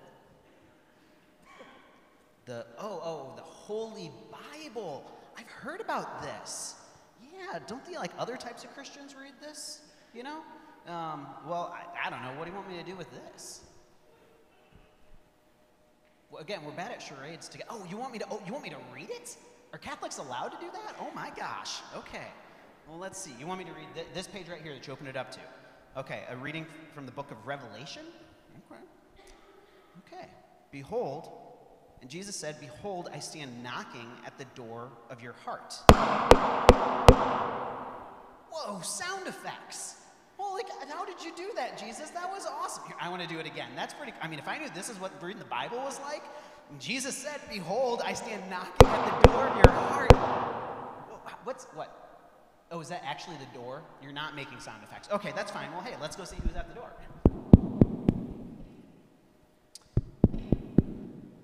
Yep. Hey, Luke. Hey, Luke. how's it going? Hey, uh, Denise, Denise and I are here. Um, we were just wondering if you're doing anything tonight. Um, nope, totally free. Nothing going on. Great, Yeah. because there's going to be a party, and we thought we would invite you. Oh, I, yeah, I'd love that. Nothing like a Sunday night party in Kirkwood. Oh, so- I know it's going to be a rager. Yeah. Um, so uh, we thought I thought I'd tell you who's going to be there. Yeah, yeah. Uh, if you're interested. Um, so uh, Raymond is going to be there. Everybody loves Raymond. Yeah, I know, I Uh, so it should be a really good time, and Anna and Elsa may show up, so it'll be chill. Yeah. Um, so it, I think you should totally join us if you're not doing anything. Yeah, I'm totally free. Let me just go ask my parents. You know, so I'm gonna be out of the house. I'll, I'll be right back. Just All right, cool. We'll be here. Hey, Jesus, how's it going? Yeah. Um. So obviously you were right over my shoulder, listening to everything I was saying there. But um, Paul, Denise, they just invited me to go to a party. I'm really excited. I haven't hung out with them in like a whole day. Um, I know I said we were gonna hang out this evening, but we can do that another time. Don't worry. I'm gonna go with them. You can just stay here, okay? Okay. Hey, Denise. I, yeah, oh I- my gosh, Luke, are you ready? Yeah. Okay. I'm. I'm. Oh, wait, wait, wait. Before you answer, let, let me tell you a little bit more about this party. In fact, I heard from um, my friend that uh, her friend Penelope is going to be there, and she was asking about you. yes, Penelope, was asking about me. Yes. Well, well, geez, gosh. like, I know, I didn't you know that Penelope was going to be there. So, um, well, eh, eh, hey, um, if that's the case, I need to go actually like change my outfit a few times because Yeah, probably. I gotta look. Oh, thanks. Oh. Um, I gotta go and impress Penelope. So just hold on. Yeah. Hey, uh, hey, Jesus, I can tell you're like eavesdropping a lot right here, and um, it seems like you want to go along, but listen, normally maybe, but Penelope's gonna be there. You know I've been praying to you a lot about Penelope, how cute I think she is, and I just wanna be able to focus on being with my friends, looking cool, getting to know Penelope a little bit better. So I really need you to just stay here, okay? I'm gonna go, you just stay here. Okay, are we ready to go? All right, Luke. Um, we think you should hurry up because it's taking you a long time. Yeah. Uh, I don't know if you heard. I don't know if you heard, but there's going to be a lot of beer at this party. Really? And if you don't hurry up, the beer is either going to be warm or it's going to be gone, and both of those are bad. Oh, uh, yeah, so, that's definitely bad. do you want us to leave without you? No, no, no, no. I promise I'm coming. Just give me, just give me one more moment. I'm put my fish in the blender, and I need to like take them out really quick before something terrible happens. So just give me one more moment. Hey, Jesus, listen. I can tell you really want to come with me, okay? But uh, you know, this isn't your kind of party. You know, there's going to be beer there. I, I hear you're more of a wine guy, anyways. Like, actually, why don't you come over here? Why don't you sit down? Okay, well, make yourself comfortable. Here, read this thing. I, I hear the whole second half is about you. Reminisce about the good old days with the buddies. But I need you to stay here, okay? Because I'm going to go to this party. I'll tell you all about it next time in confession, okay? Okay. Okay, Luke, you ready? You ready? Okay, we Yes, have got to go. ready. we have got to go now. The car is running, gas ex- expensive, and really honestly, so is beer. Yeah, okay. Uh, yes, I know. Listen, I'm, I'm coming right away. I told my sister earlier today to play hide and seek with her. I haven't seen her in a few hours. Let me just go fix that really quick. I'll be right there. Okay. Jesus, I said stay! Get up. Jesus, what part of what I was saying to you didn't you understand? I told you to stay here.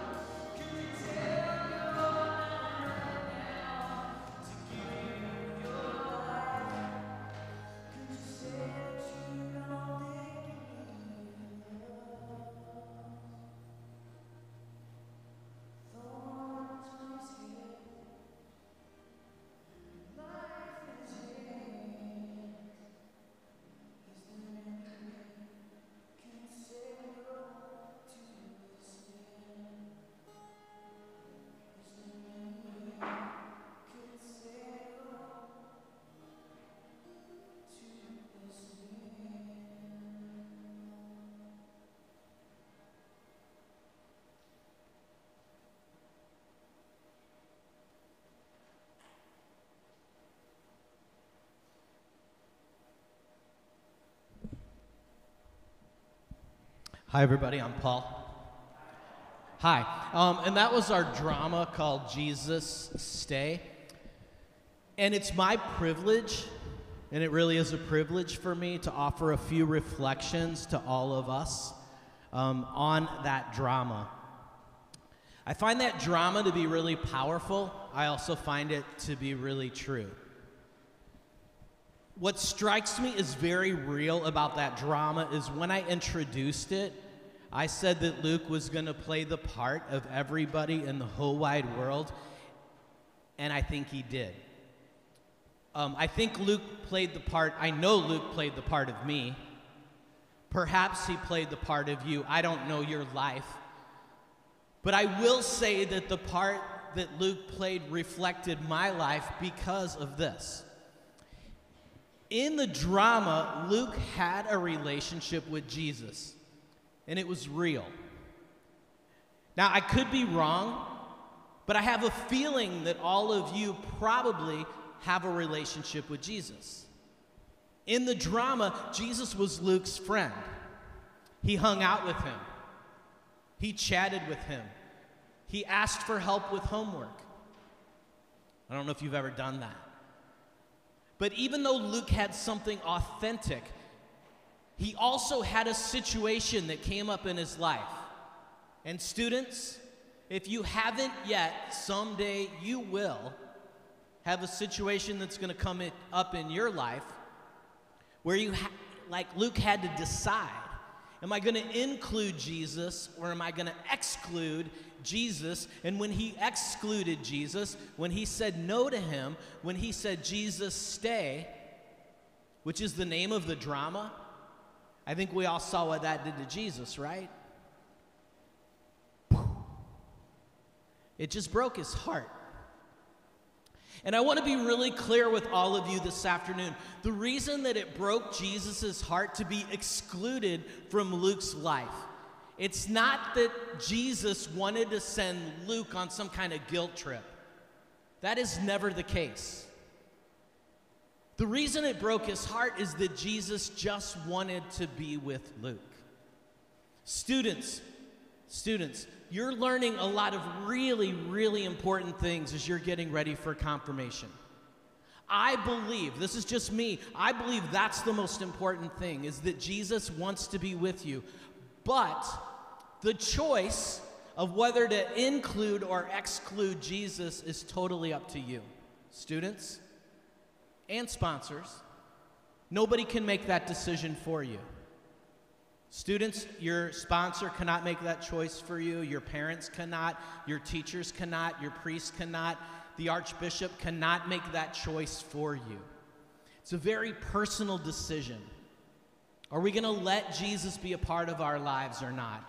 And I also want to let you know that the reason Jesus wants to be with us is because he's crazy. He is. He's crazy about you. And he's crazy about me. And if you've ever had the privilege, and I know some of you have, had the privilege of being crazy in love. When you're crazy in love, you want to be with the one that you love as much as you possibly can. And that's God's heart toward you and toward me. But again, the drama illustrates the reality that each one of us have to answer that question. Are we going to include Jesus or not?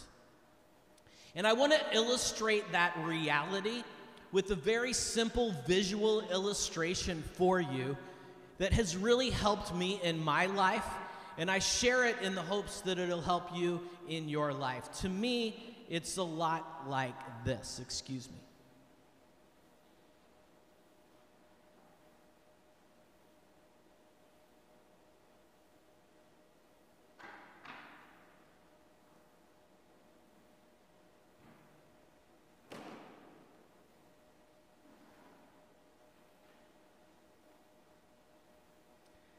This is just a glass of milk, that's all.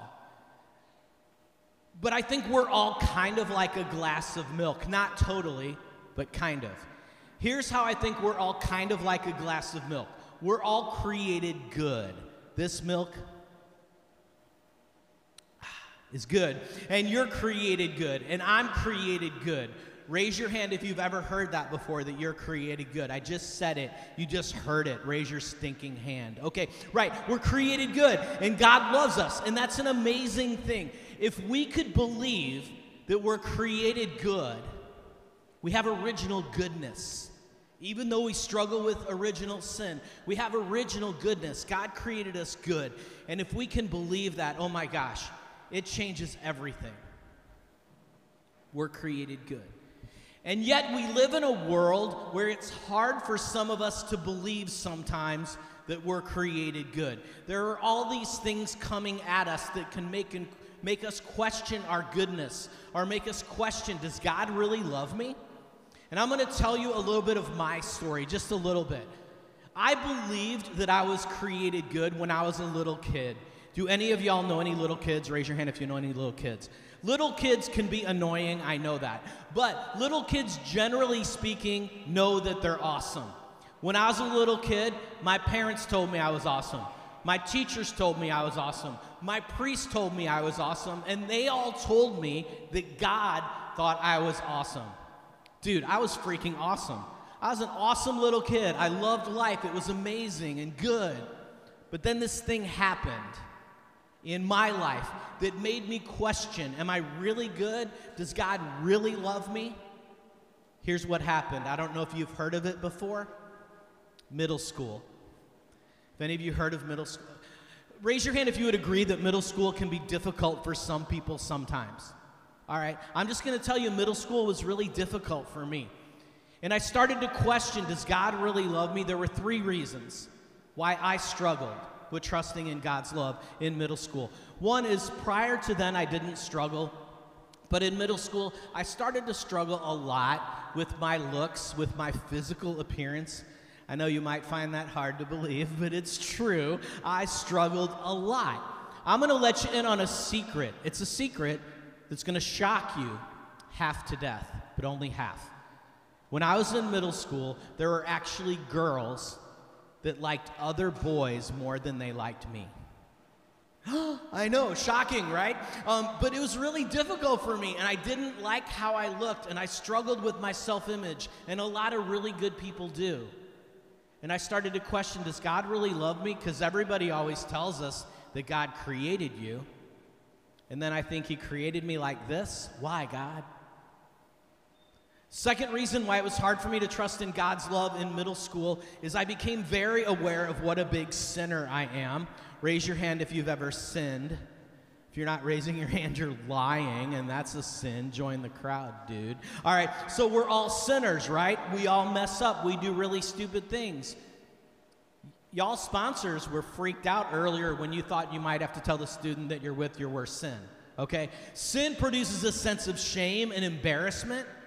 And sometimes when we sin, we find it hard to believe that God could really love us. But the third reason is the biggest reason for me. In middle school, it was hard for me to trust in God's love because life started to hurt really bad.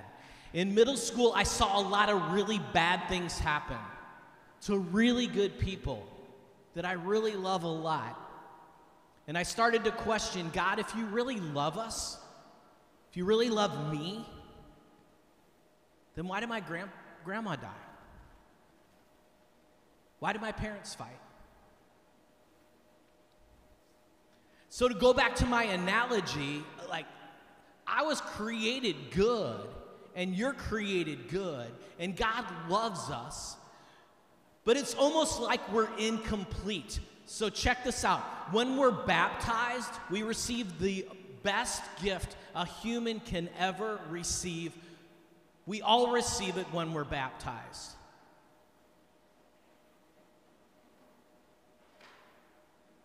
we receive the gift of the Holy Spirit. And the Holy Spirit is a lot like Hershey's syrup. I mean, Holy Spirit, Hershey's syrup, same initials, coincidence? I think not. So we receive this amazing gift of the Holy Spirit when we're baptized. And the Holy Spirit is God's way of reminding us of how much He loves us because He knows sometimes we forget and He knows that sometimes we struggle. And the Holy Spirit is poured into all of our lives when we're baptized. And we receive a lot of the Holy Spirit when we're baptized because God is rather extreme in how He is constantly pouring His lives, His love into our hearts. Should I keep going? Oh, yeah, a little bit more. Okay. So, uh, the Holy Spirit is an amazing gift. Students, sponsors, you know, the Holy Spirit is the third person of the Trinity, which means God comes to live in our hearts through faith when we're baptized. This is so, that's a lot. This is so cool that God loves us so much, He wants to be within us all the time. Another thing about the Holy Spirit, which I think you probably know, but I want to remind you, is the Holy Spirit is really powerful. It says in Scripture that it's through the power of the Holy Spirit that the universe came into existence. I don't know if any of y'all have, has studied astronomy. I have a bit. The universe is really big, y'all. It's like bigger than Kirkwood, okay? Um, and the power that created everything out of nothing is within you and within me. And it's this gift that God gives us when we're baptized. But I want to be real with you. This is just my story. But when I was going through the confirmation process, like the students here are, I would hear my priest and my religion teacher, people like my sponsor, and they'd always talk about the Holy Spirit and the power of the Holy Spirit. But my experience at that point in my life was so what? What's the Holy Spirit done for me? Holy Spirit ain't done nothing for me. Now, in this visual illustration, I think it's pretty obvious to the average person that something needs to happen to the chocolate that is within the milk in order for the milk to be transformed by the power of the chocolate that it has received. Are you picking up what I'm laying down here? You mopping up what I'm spilling? Not literally yet. Okay, so what needs to happen? If you could say it, that would help me.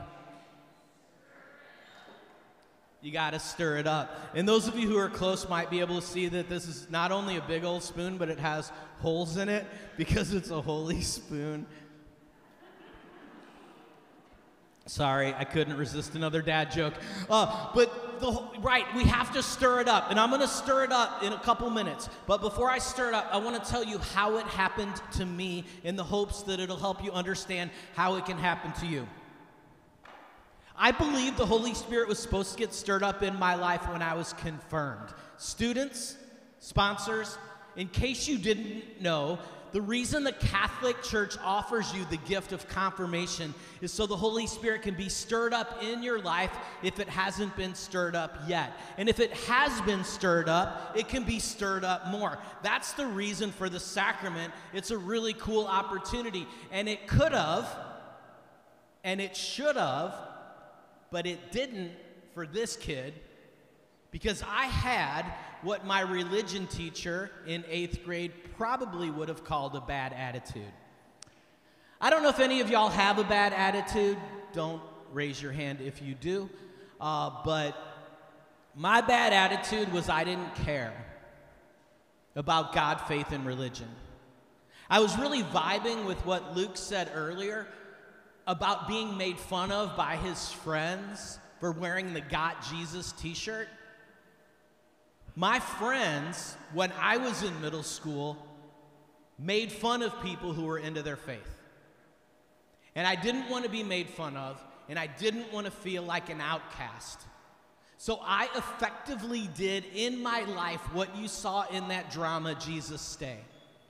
And I said, Jesus, stay at home. But I can't bring you to school with me.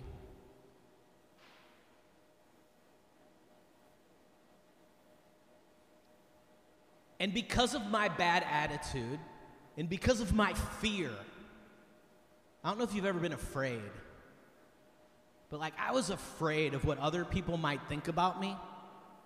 The Holy Spirit did not get stirred up in my life when I was confirmed. I have countless regrets about that. I don't even have time to express my regrets, but I want to give you hope because something finally happened in my life that gave me the courage to begin this process and I'm really glad it happened. Students, when I was a little bit older than you, I met somebody and I had an experience that changed my life. First of all, I met somebody who wasn't fake. Sponsors, this is where your role is so important. Honestly, it's really important in the lives of the young person that you're with right now. It took me till I was much older where I met somebody who was a role model of faith for me. And I started hanging out with this person who wasn't fake, and we became friends. And I realized that this person who was really engaged in his faith, he was happier than me, he was more peaceful than me, he was more authentic than I was, and my heart cried out for that. So as we became closer friends, my friend invited me to an event. It was a really important foundational event in my life. He invited me to go see a Christian rock band in concert, which may sound weird, And it was, all right? But I went to see this Christian band. Music was great. But between songs, the band members were kind of like us on the More team. Here's what I mean they would get up and talk about things they'd been through. I honestly tried to ignore it because I had a bad attitude. But this one person in the band got through to me. He just told his story. I don't know if that's ever happened to you. You've connected with somebody else's story. But this guy talked about being fake. I could relate to that. He talked about being hurt. I could relate to that. He talked about wanting more out of his life. I could relate to that. And then he talked about Jesus as if he knew him. And I couldn't relate to that. Did you hear what I just said to you? Been Catholic my whole life, still am. This guy talked about Jesus as if he knew him, as if he had just had breakfast with him that morning, because he probably had. And I knew that was what I needed.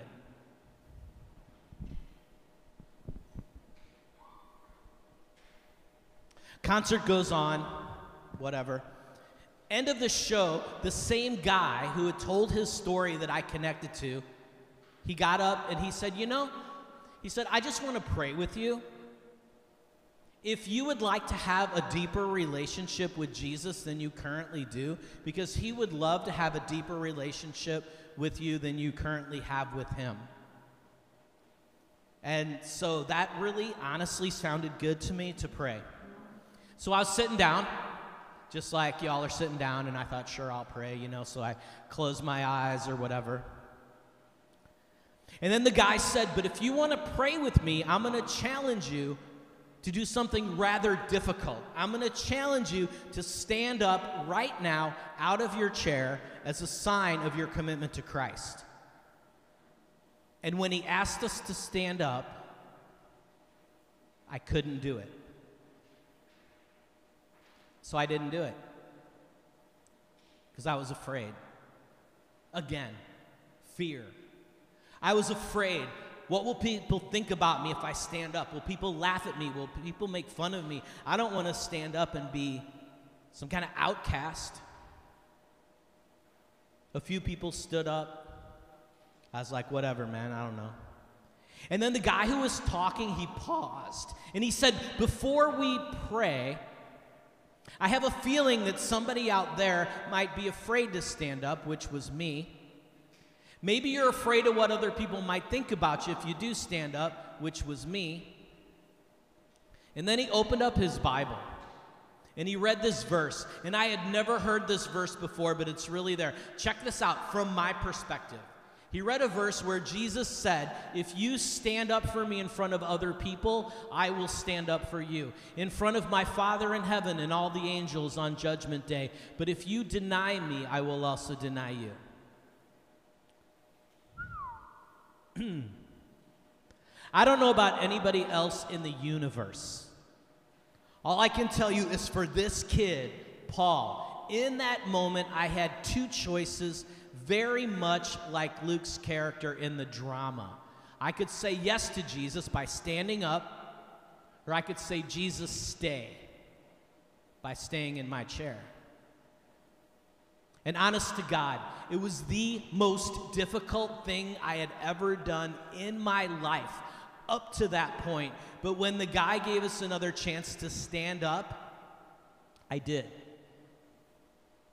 And when I stood up that night, nobody laughed at me, and I prayed. I don't remember the words of the prayer. I don't remember the name of the guy who led the prayer. But I'm going to tell you that when I stood up that night, I made a commitment to Jesus that I had never made before. And I'm absolutely convinced that what happened to me that night when I stood up for Jesus and I prayed a prayer is this the Holy Spirit that I had received when I was baptized, that could have, should have, and I wish would have been stirred up when I was confirmed, it finally started to get stirred up in my life. Just a little bit. Did that concert totally change my life? No. But it was a really important decision and then I started doing those things that my religion teachers always told me to do, but I never really did, you know what I'm saying? I started doing things like praying, and I liked what happened when I prayed. I started reading the Bible, found things in there so helpful and encouraging and inspiring. I started giving things like youth group a chance, and I'm so glad that I did. I started trying to figure out what does our church teach and why. And I came to find it to be true. And all I can tell you is because I've tried to be open to having a relationship with Jesus, I'm a different person. And I believe that my life tastes better. It's a little bit strong, but that's okay. Um, and the key to this happening in my life and the key to this happening in your life all goes back to the drama Jesus Stay. As I wrap up, I want to tell you that it's okay with me if you forget every word of this talk. I don't care. But I hope you'll never forget the drama Jesus Stay. The drama Jesus Stay contains the key to everything that you and I need to know about having the Holy Spirit stirred up in our lives because if we bring Jesus with us, the Holy Spirit will be stirred up, and if we don't, it won't because the Holy Spirit is His Spirit. Now, before I stop talking, um, I want to pray with you. Um, and I want to let you know I don't want to pray with you to show off with fancy words because that's not me. I just want to pray with you for a moment to return the favor. Because one night at this one concert, this one guy, he led a prayer for me and with me, and that prayer jump started my faith. And I believe that a prayer like this could be helpful for you. So, for this prayer, I'd like to ask you a really big favor. I know it's a lot to ask, but why not? It's your confirmation retreat. If you could just bow your head and close your eyes, that'd be so nice. Just so you don't distract other people and you block out all distractions. And with your head down and your eyes closed, I'd like you to think about your life just for a moment. Here's what I'd like you to think about. Would you like the Holy Spirit stirred up in your life? Maybe you're like I was at that concert. Maybe this is the first time you've ever asked for it like this. That's okay. Or maybe the Holy Spirit is stirred up and you just want it stirred up more. Either way, God would be thrilled to stir up the Spirit in your life. And God does that when we ask and when we invite Jesus to take more control of our lives. So, Keep your eyes closed. I'm going to lead us in a prayer, and I'm going to encourage you to repeat the words of the prayer out loud after me. Only if you want to. Repeat after me out loud. Jesus, thank you for your love. Thank you for loving me and for creating me good. Lord, I'm a sinner. I've worn some masks. Please forgive my sins and help me to go to confession anytime I need to. I commit my life to you. Help me to live for you every day. Stir up the Holy Spirit in my life.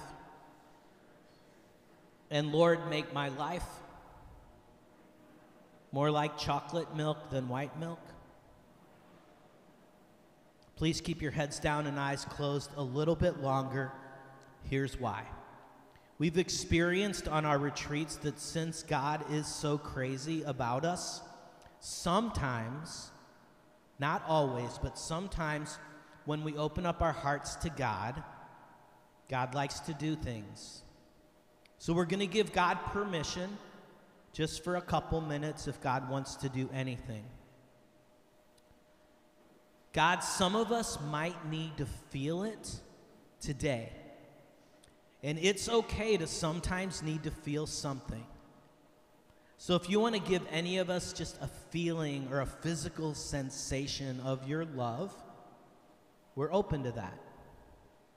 Maybe that tingly feeling that we can sometimes get. Maybe a surge of joy. Maybe just a feeling of peace.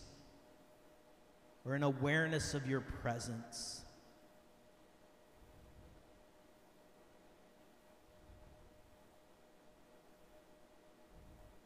Lord, some of us need healing. We're kind of broken. Some of us have been hurt so bad. And some of those hurts have come from the people who were supposed to love us the most. So if you want to bring any healing to our broken hearts, that would be nice.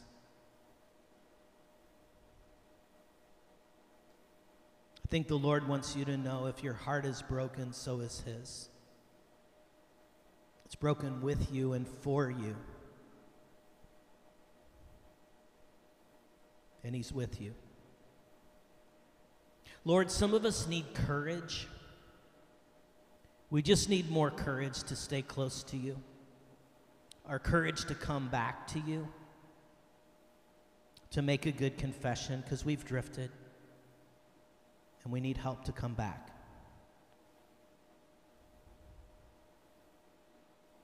Please keep your heads down and your eyes closed just a little bit longer. Just a little bit. Here's why. You heard my story. At that concert, it was very important for me to stand up. I'm going to give you an opportunity to stand up. Not, don't worry, not just like in, like in that way, but here's what I'm going to give you a chance to do. As your own way of standing up, as your own way of saying, Yeah, Jesus, I want to be closer to you, with your eyes closed, I'd like you to raise your hand. That's your way of standing up. And if you'd rather not raise your hand, you can raise your pinky or your big toe. But it can be really good to physically acknowledge, yeah, Jesus, I really mean it. I want to be closer to you. Please keep your eyes closed, put your hands down. I want to give a second chance to those who might need a second chance, just to raise your hand or raise it up a second time. And everybody, go ahead and put your hands down. and everybody, please look at me. One of the things I've learned about chocolate milk, this kind in particular, is that you have to keep it stirred up. What I stirred up a few minutes ago is already settling back down to the bottom of the glass. We have some advice for you on how to keep the Holy Spirit stirred up, but not now. Before we do that, you're just going to have a couple minutes to talk among yourselves again. Denise is going to facilitate that process. And after a little bit of discussion time, um, we'll begin the process of wrapping it all up today. Hello, my name's Denise.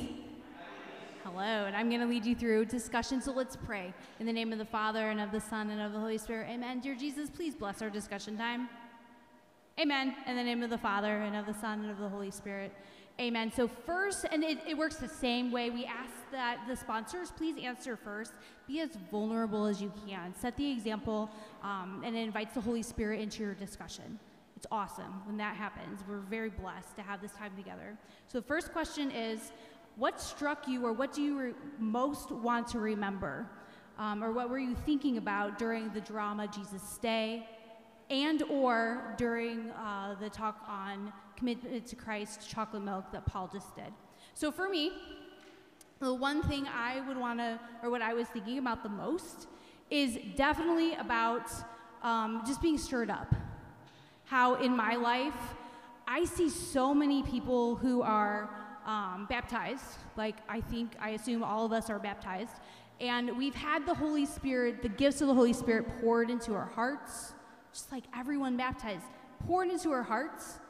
And it's so many people are just living that and not living their faith, not stirring up the Holy Spirit in their life.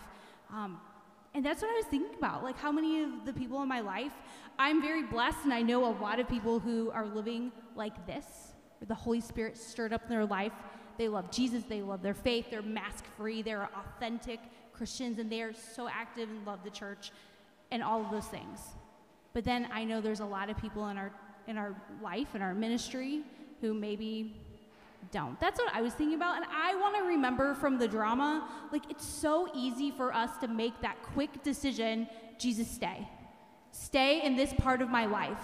Stay at home, Stay, um, I went to public school, so for me it was stay at church. Don't come to my public school with me. Just stay. Stay there.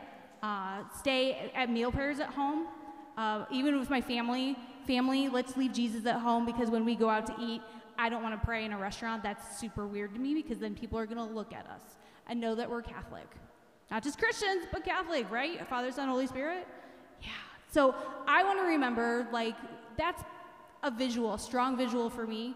I want to take Jesus with me in every part of my life. I work in customer service. I take Jesus into every phone call with every customer, with every school with me. Honestly, it's really hard to do sometimes, but I do it. Yeah. So for you, go ahead and discuss what struck you or what you were you most thinking about during the drama Jesus Stay and or Paul's talk with chocolate milk. And give me a thumbs up when you're ready.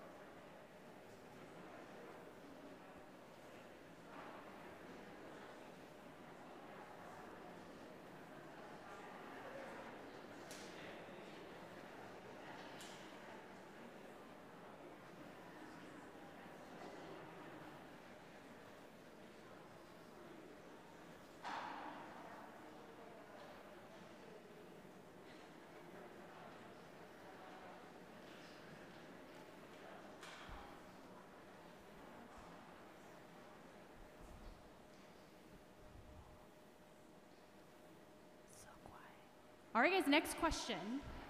And if you did not get to finish that question, totally just after I give you the next question, keep answering or go on to the next one. It's up to you. But next question is Who is someone in your life who is a role model for you in your faith? This could be someone who lives their faith well, has the Holy Spirit stirred up in their lives. They are living their life like chocolate milk, like this. So for me, I'm very blessed. I have um, a few people in my life who um, live like this. But I will tell you the number one person is my husband. My husband and I, we pray together. He prays every day. He reads the scriptures every day. We go to Mass very frequently. And I just see in him, and this is fun fact, hashtag fun fact, uh, part, of, part of being in the sacrament of mar- matrimony is you're supposed to lead your spouse to heaven. And I'm very blessed. He's leading me to heaven. And so he's mask free. He is definitely my role model in faith, which is awesome. So, for you, go ahead and discuss who is someone in your life who is a role model for you in your faith? Who is someone you know that um, lives their faith well, has the Holy Spirit stirred up in their lives? Go ahead and discuss and give me thumbs up.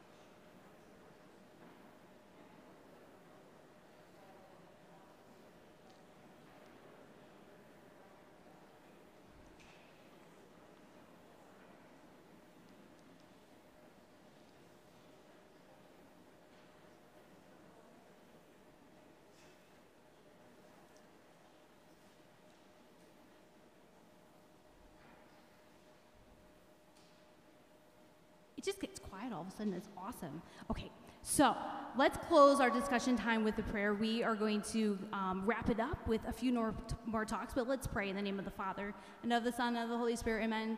Uh, dear Jesus, just thank you for blessing our discussion time. Amen. In the name of the Father and of the Son and of the Holy Spirit. Amen. Um, our next person, because now we get to give you the practical advice of how to keep the Holy Spirit stirred up in your life. So, first person we're going to hear from is Erin, who is from your parish, and she's going to introduce you and talk to you about youth ministry.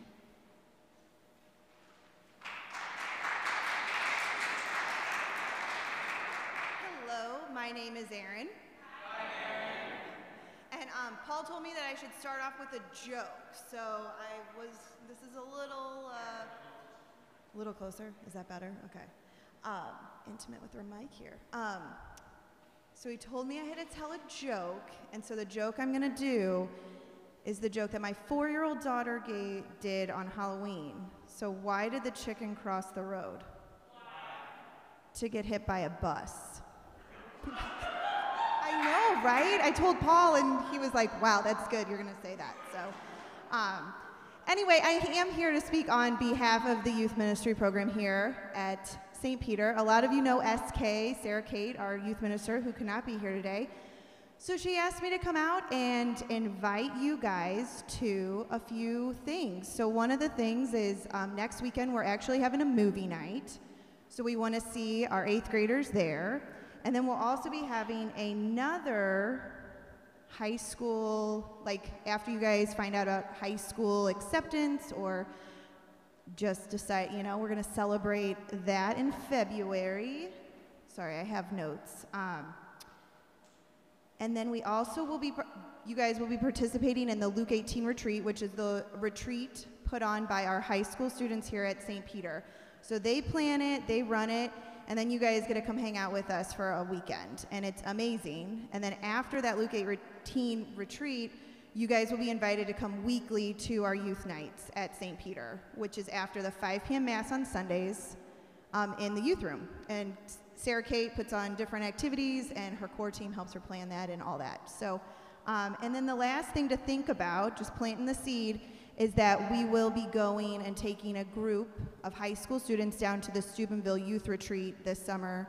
We'll either be going the first weekend of July or the second weekend of July. So SK will have more information on that too, but also super fun. I highly encourage going on that because it's just a great time to hang out with your friends, but also have God in your life. So thank you very much. I think that's all I have for you. So.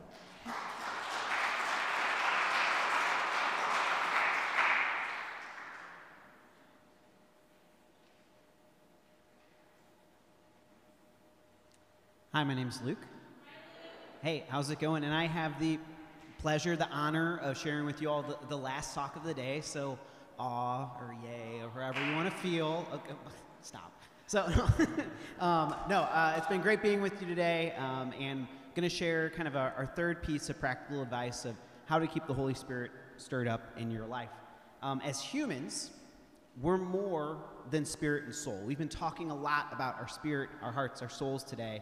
We're also human beings, we're, we're physical beings here on earth. Um, we've just heard about how to keep the Holy Spirit stirred up in our hearts, in our minds, in our souls with things like, um, like youth group, regular attendance at Mass, prayer. Um, and um, what I want to share with you is how we uh, can say yes and keep the Holy Spirit stirred up in our life with the virtue of chastity. Um, so let me go ahead right off the bat and say I'm going to give a much broader and clearer definition of chastity than you might have heard before. Because what I'm not up here to say is, hey, save sex for marriage, see you later. I want to be here to give a much broader and purer definition of chastity. I'm going to do that in six points. One, chastity is a virtue, which means it's a habit of doing good, um, which means that it's something that we choose over and over again. It's not a one time decision, it's not a I made a decision and that's it. It's something that we choose over and over again. And that goes in the second part of this definition is that it's for all vocations, it's for all points of our lives.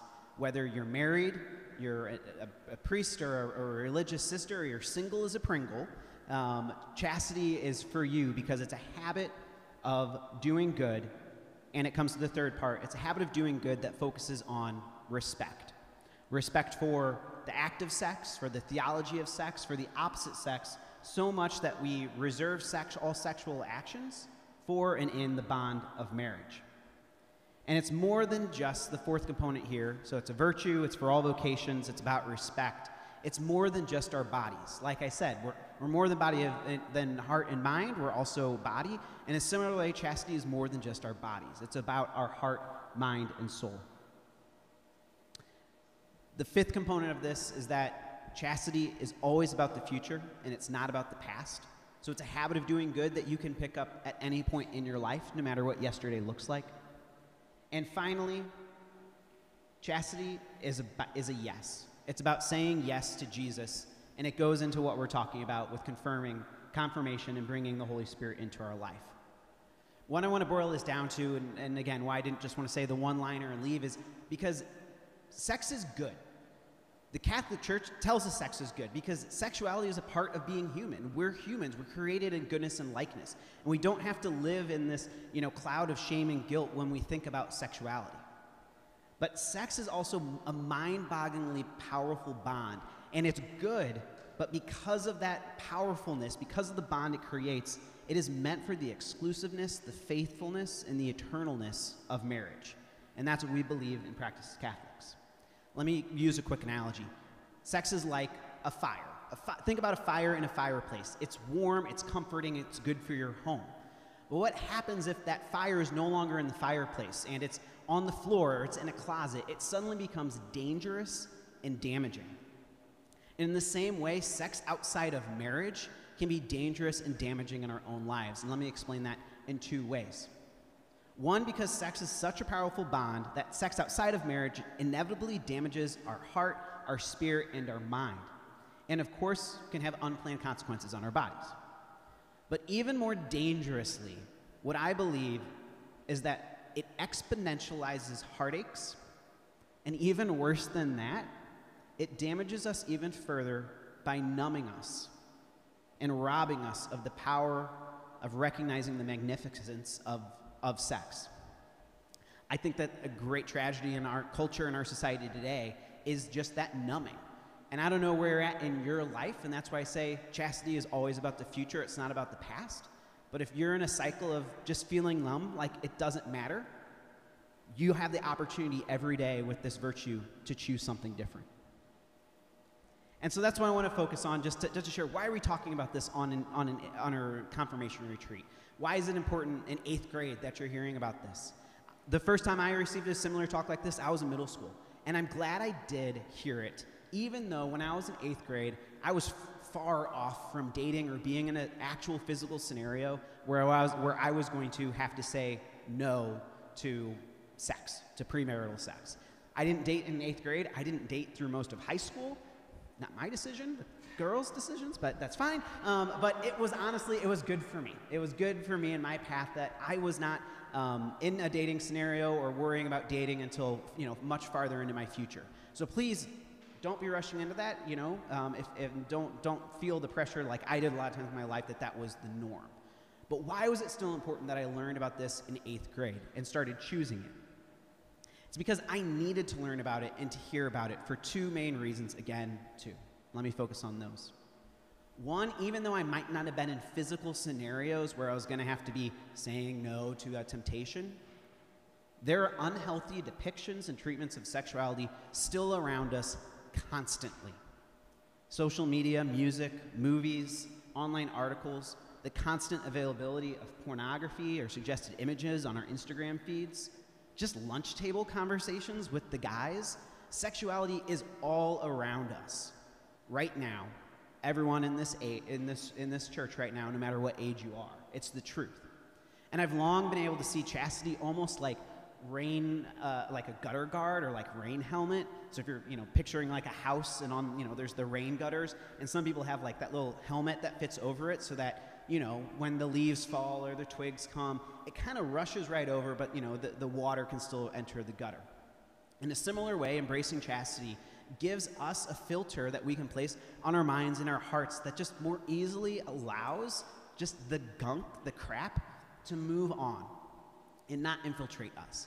However, even embracing chastity, it's even more of a need to put on important filters in your life and recognize when, um, you know, it's not a good opportunity or not a good time for you to be on your phone or to you to be alone in the scenario or others. We still need to be um, conscious of those filters.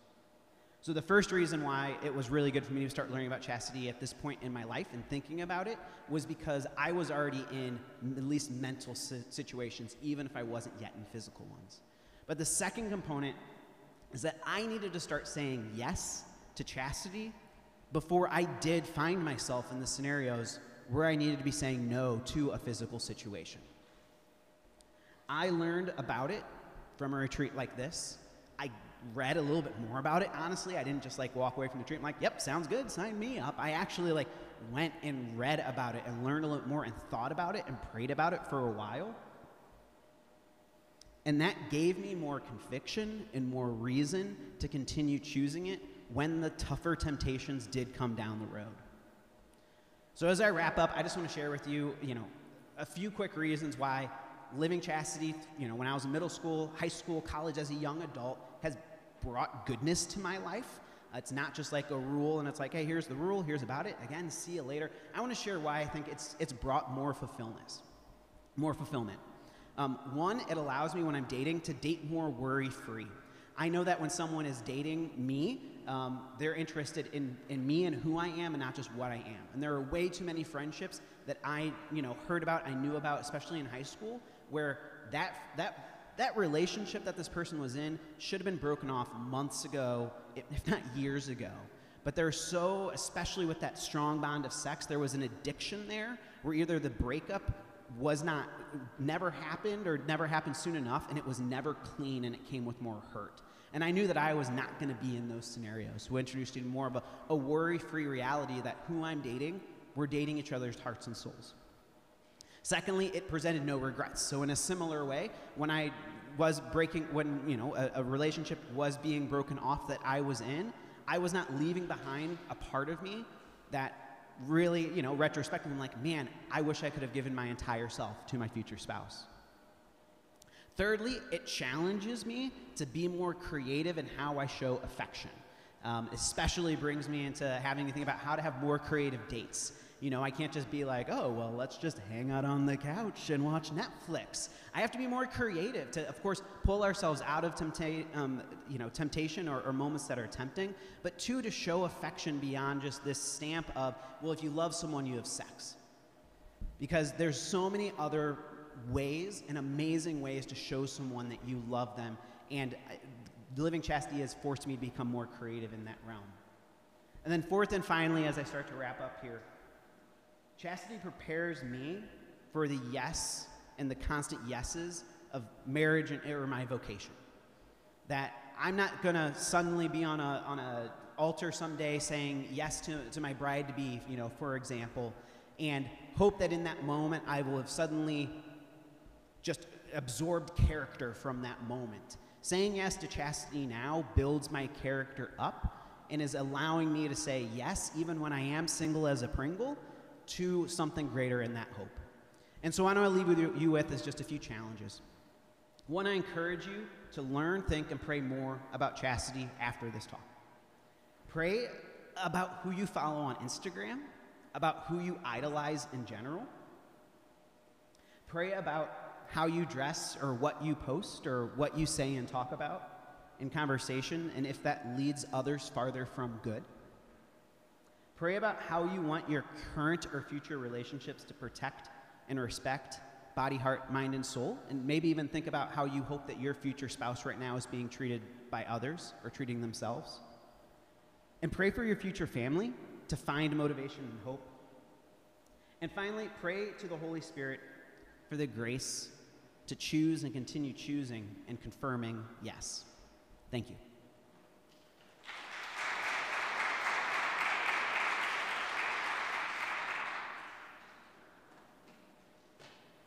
Um, hi, everybody. I'm Paul. So, we have a gift for you, and then we have some closing announcements before we cut you loose. Um, the gift that we have for you is really cool. A lot of people have found it really valuable, even though some people might find it awkward. I don't care. In just a moment, we're going to make available to everybody, everybody here today, a little business sized card. It's called a chastity commitment card.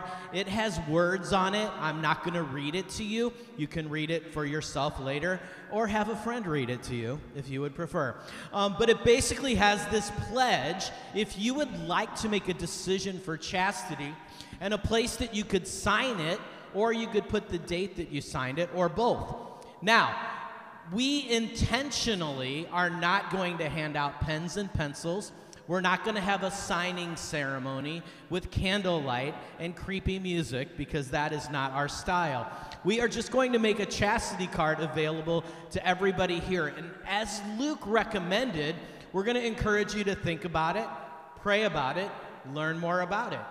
I believe it's the second most important decision that a person can make in their lives. I believe the first is that decision for Jesus, where we say yes with our hearts, as some of you did when you raised your hands a little bit earlier. But chastity, as Luke said so clearly, is how we say yes to God's plan with our bodies, and we are whole people.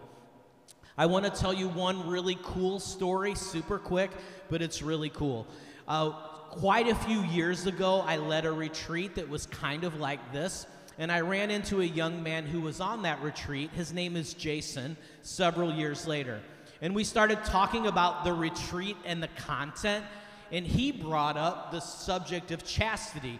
And he said, I'm really glad you talked about chastity on that retreat. And I want to let you know that I actually took your advice. I said, Well, tell me more about that. He said, I did not sign my chastity card right away. I really did think about it. I really did pray about it. I really did learn more about chastity. And a couple months after his confirmation retreat, he decided he wanted to practice the virtue of chastity. So he signed his chastity card, he put the date that he signed it. No big ceremony, it was actually by himself in his room.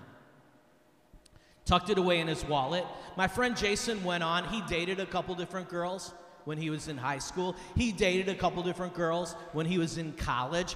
But a couple years after graduating college, Jason met the one. You know, the woman that he knew he wanted to spend the rest of his life with. And he decided to propose to her in a way that was really cool. Young men, take note someday, if and when you propose, do it in a way that's cool, okay?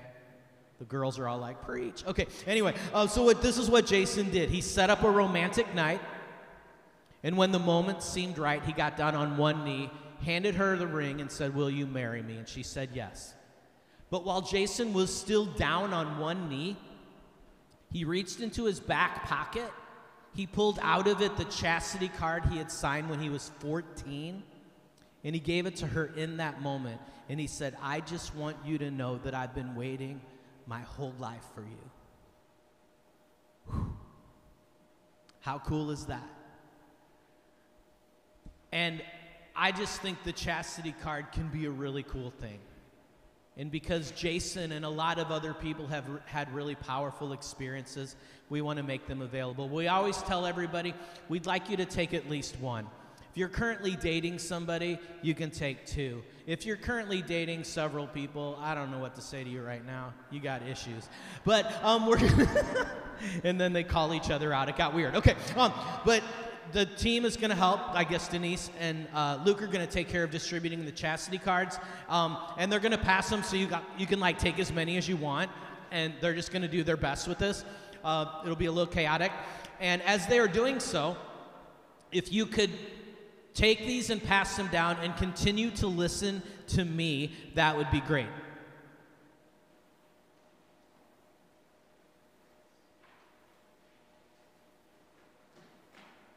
On your way out of the church, after we've had uh, a closing prayer, I want to highlight that in the gathering space back there, we have a free stuff table and we have some really good stuff available that we believe could help anybody attending this retreat. If you're interested, no pressure. But I'm going to tell you about some of those things so you know what's on our free stuff table. We have free rosaries. And here's a cool thing about the rosary I re- learned recently. Even if praying an entire rosary is not your thing, or it's challenging for you, a good friend of mine said recently if we hold a rosary in our hand while we pray, it's like holding Mary's hand when we pray. And I like that because I think Mary's really cool. Uh, we have some flyers of things, just things. So we have a flyer about a couple books that I wrote with all of you in mind. We have a flyer about a Good Friday retreat that's being offered at our retreat center. Uh, it's going to be a nice half day retreat to just reflect on Good Friday, one of our holiest days in the church. We have a flyer about a monthly prayer gathering we have at our retreat center in Eureka. It's like a mini retreat. Um, and the next one, um, I'll be there. Uh, we also have this flyer, which we encourage every teenager and young adult who is here to take, even if you take nothing else. This green flyer has the word suicide on it. And what it does is it offers you advice on how to help a friend. If a friend of yours ever struggles with losing hope, it's a, it gives you advice on how to be there for somebody. Sometimes people just need a friend. We have this really cool little prayer card. Uh, it's a Marianist prayer. It's called the three o'clock prayer. You don't have to pray it at three o'clock because, wait for it, it's three o'clock somewhere. You'll get that when you're older. Um, we have this really cool flyer on things that Pope St. John Paul II had to say to St. Louis teenagers in 1999, but the messages are timeless. They are so good, teens. We have this. This is one of my favorite prayers of all time. This is a prayer card, and it simply says on the front, Jesus, I trust in you. Powerful prayer. There's another prayer on the back, which may or may not affect you, but it might affect somebody that you love. There's a prayer card. This is for the canonization of Father Chaminade. He is one miracle short of being canonized a Catholic saint. So if you need a miracle, as I need a miracle, uh, maybe you could write that prayer request on here. Pray this prayer. Who knows? You could get an all expense paid trip to Rome for his canonization process. I don't know if that's really true, but it's fun to say. Um, also, we have a couple stickers. If you like stickers, I like stickers. Um, your water bottle could be as cool as mine. If you would like a stirring it up sticker, this is just about stirring it up. Remember how I stirred it up and it got stirred up? This is a fly, this is a sticker um, that says "Do some more, be some more, live some more," because this is a s'more retreat. This one says "Pray some more," um, and I think there is one thing, last thing, on the free stuff table that is not free, and I want to explain why it's there. There's a glass jar and it has a label and it says donations please do not take our donation container or its contents. But here's why it's there. The Moore team receives a financial gift for presenting this retreat from this parish. We are extremely grateful. But we're an outreach of the church that we will not be able to expand what we do without the support of people like you. So we have a donation container. And I, but I want to let you know that if you're able to give, half of all donations support our outreach. The other half we send to a Marianist school. It's called Our Lady of Nazareth School in Nairobi, Kenya, where for $135 a year, a kid gets an education and one hot meal. And we've heard that some of the kids get their hot meal and they don't eat it. But they bring it home to their family members who otherwise might not have a hot meal that day. It's a really cool ministry. And if you're able to support both of those efforts, if you don't have money today or you can't, don't worry about it. But we do have envelopes if you'd like to send something in later. And I do have Venmo, and I hope that you could trust me to get things to where they need to go. Uh, if you're able to support us, great. If not, that's okay too. Do you have some things to say in conclusion? Yes. So, um, our final words will be from Susan, and she's kind of a rock star. So, give her a round of applause as she comes up to the microphone.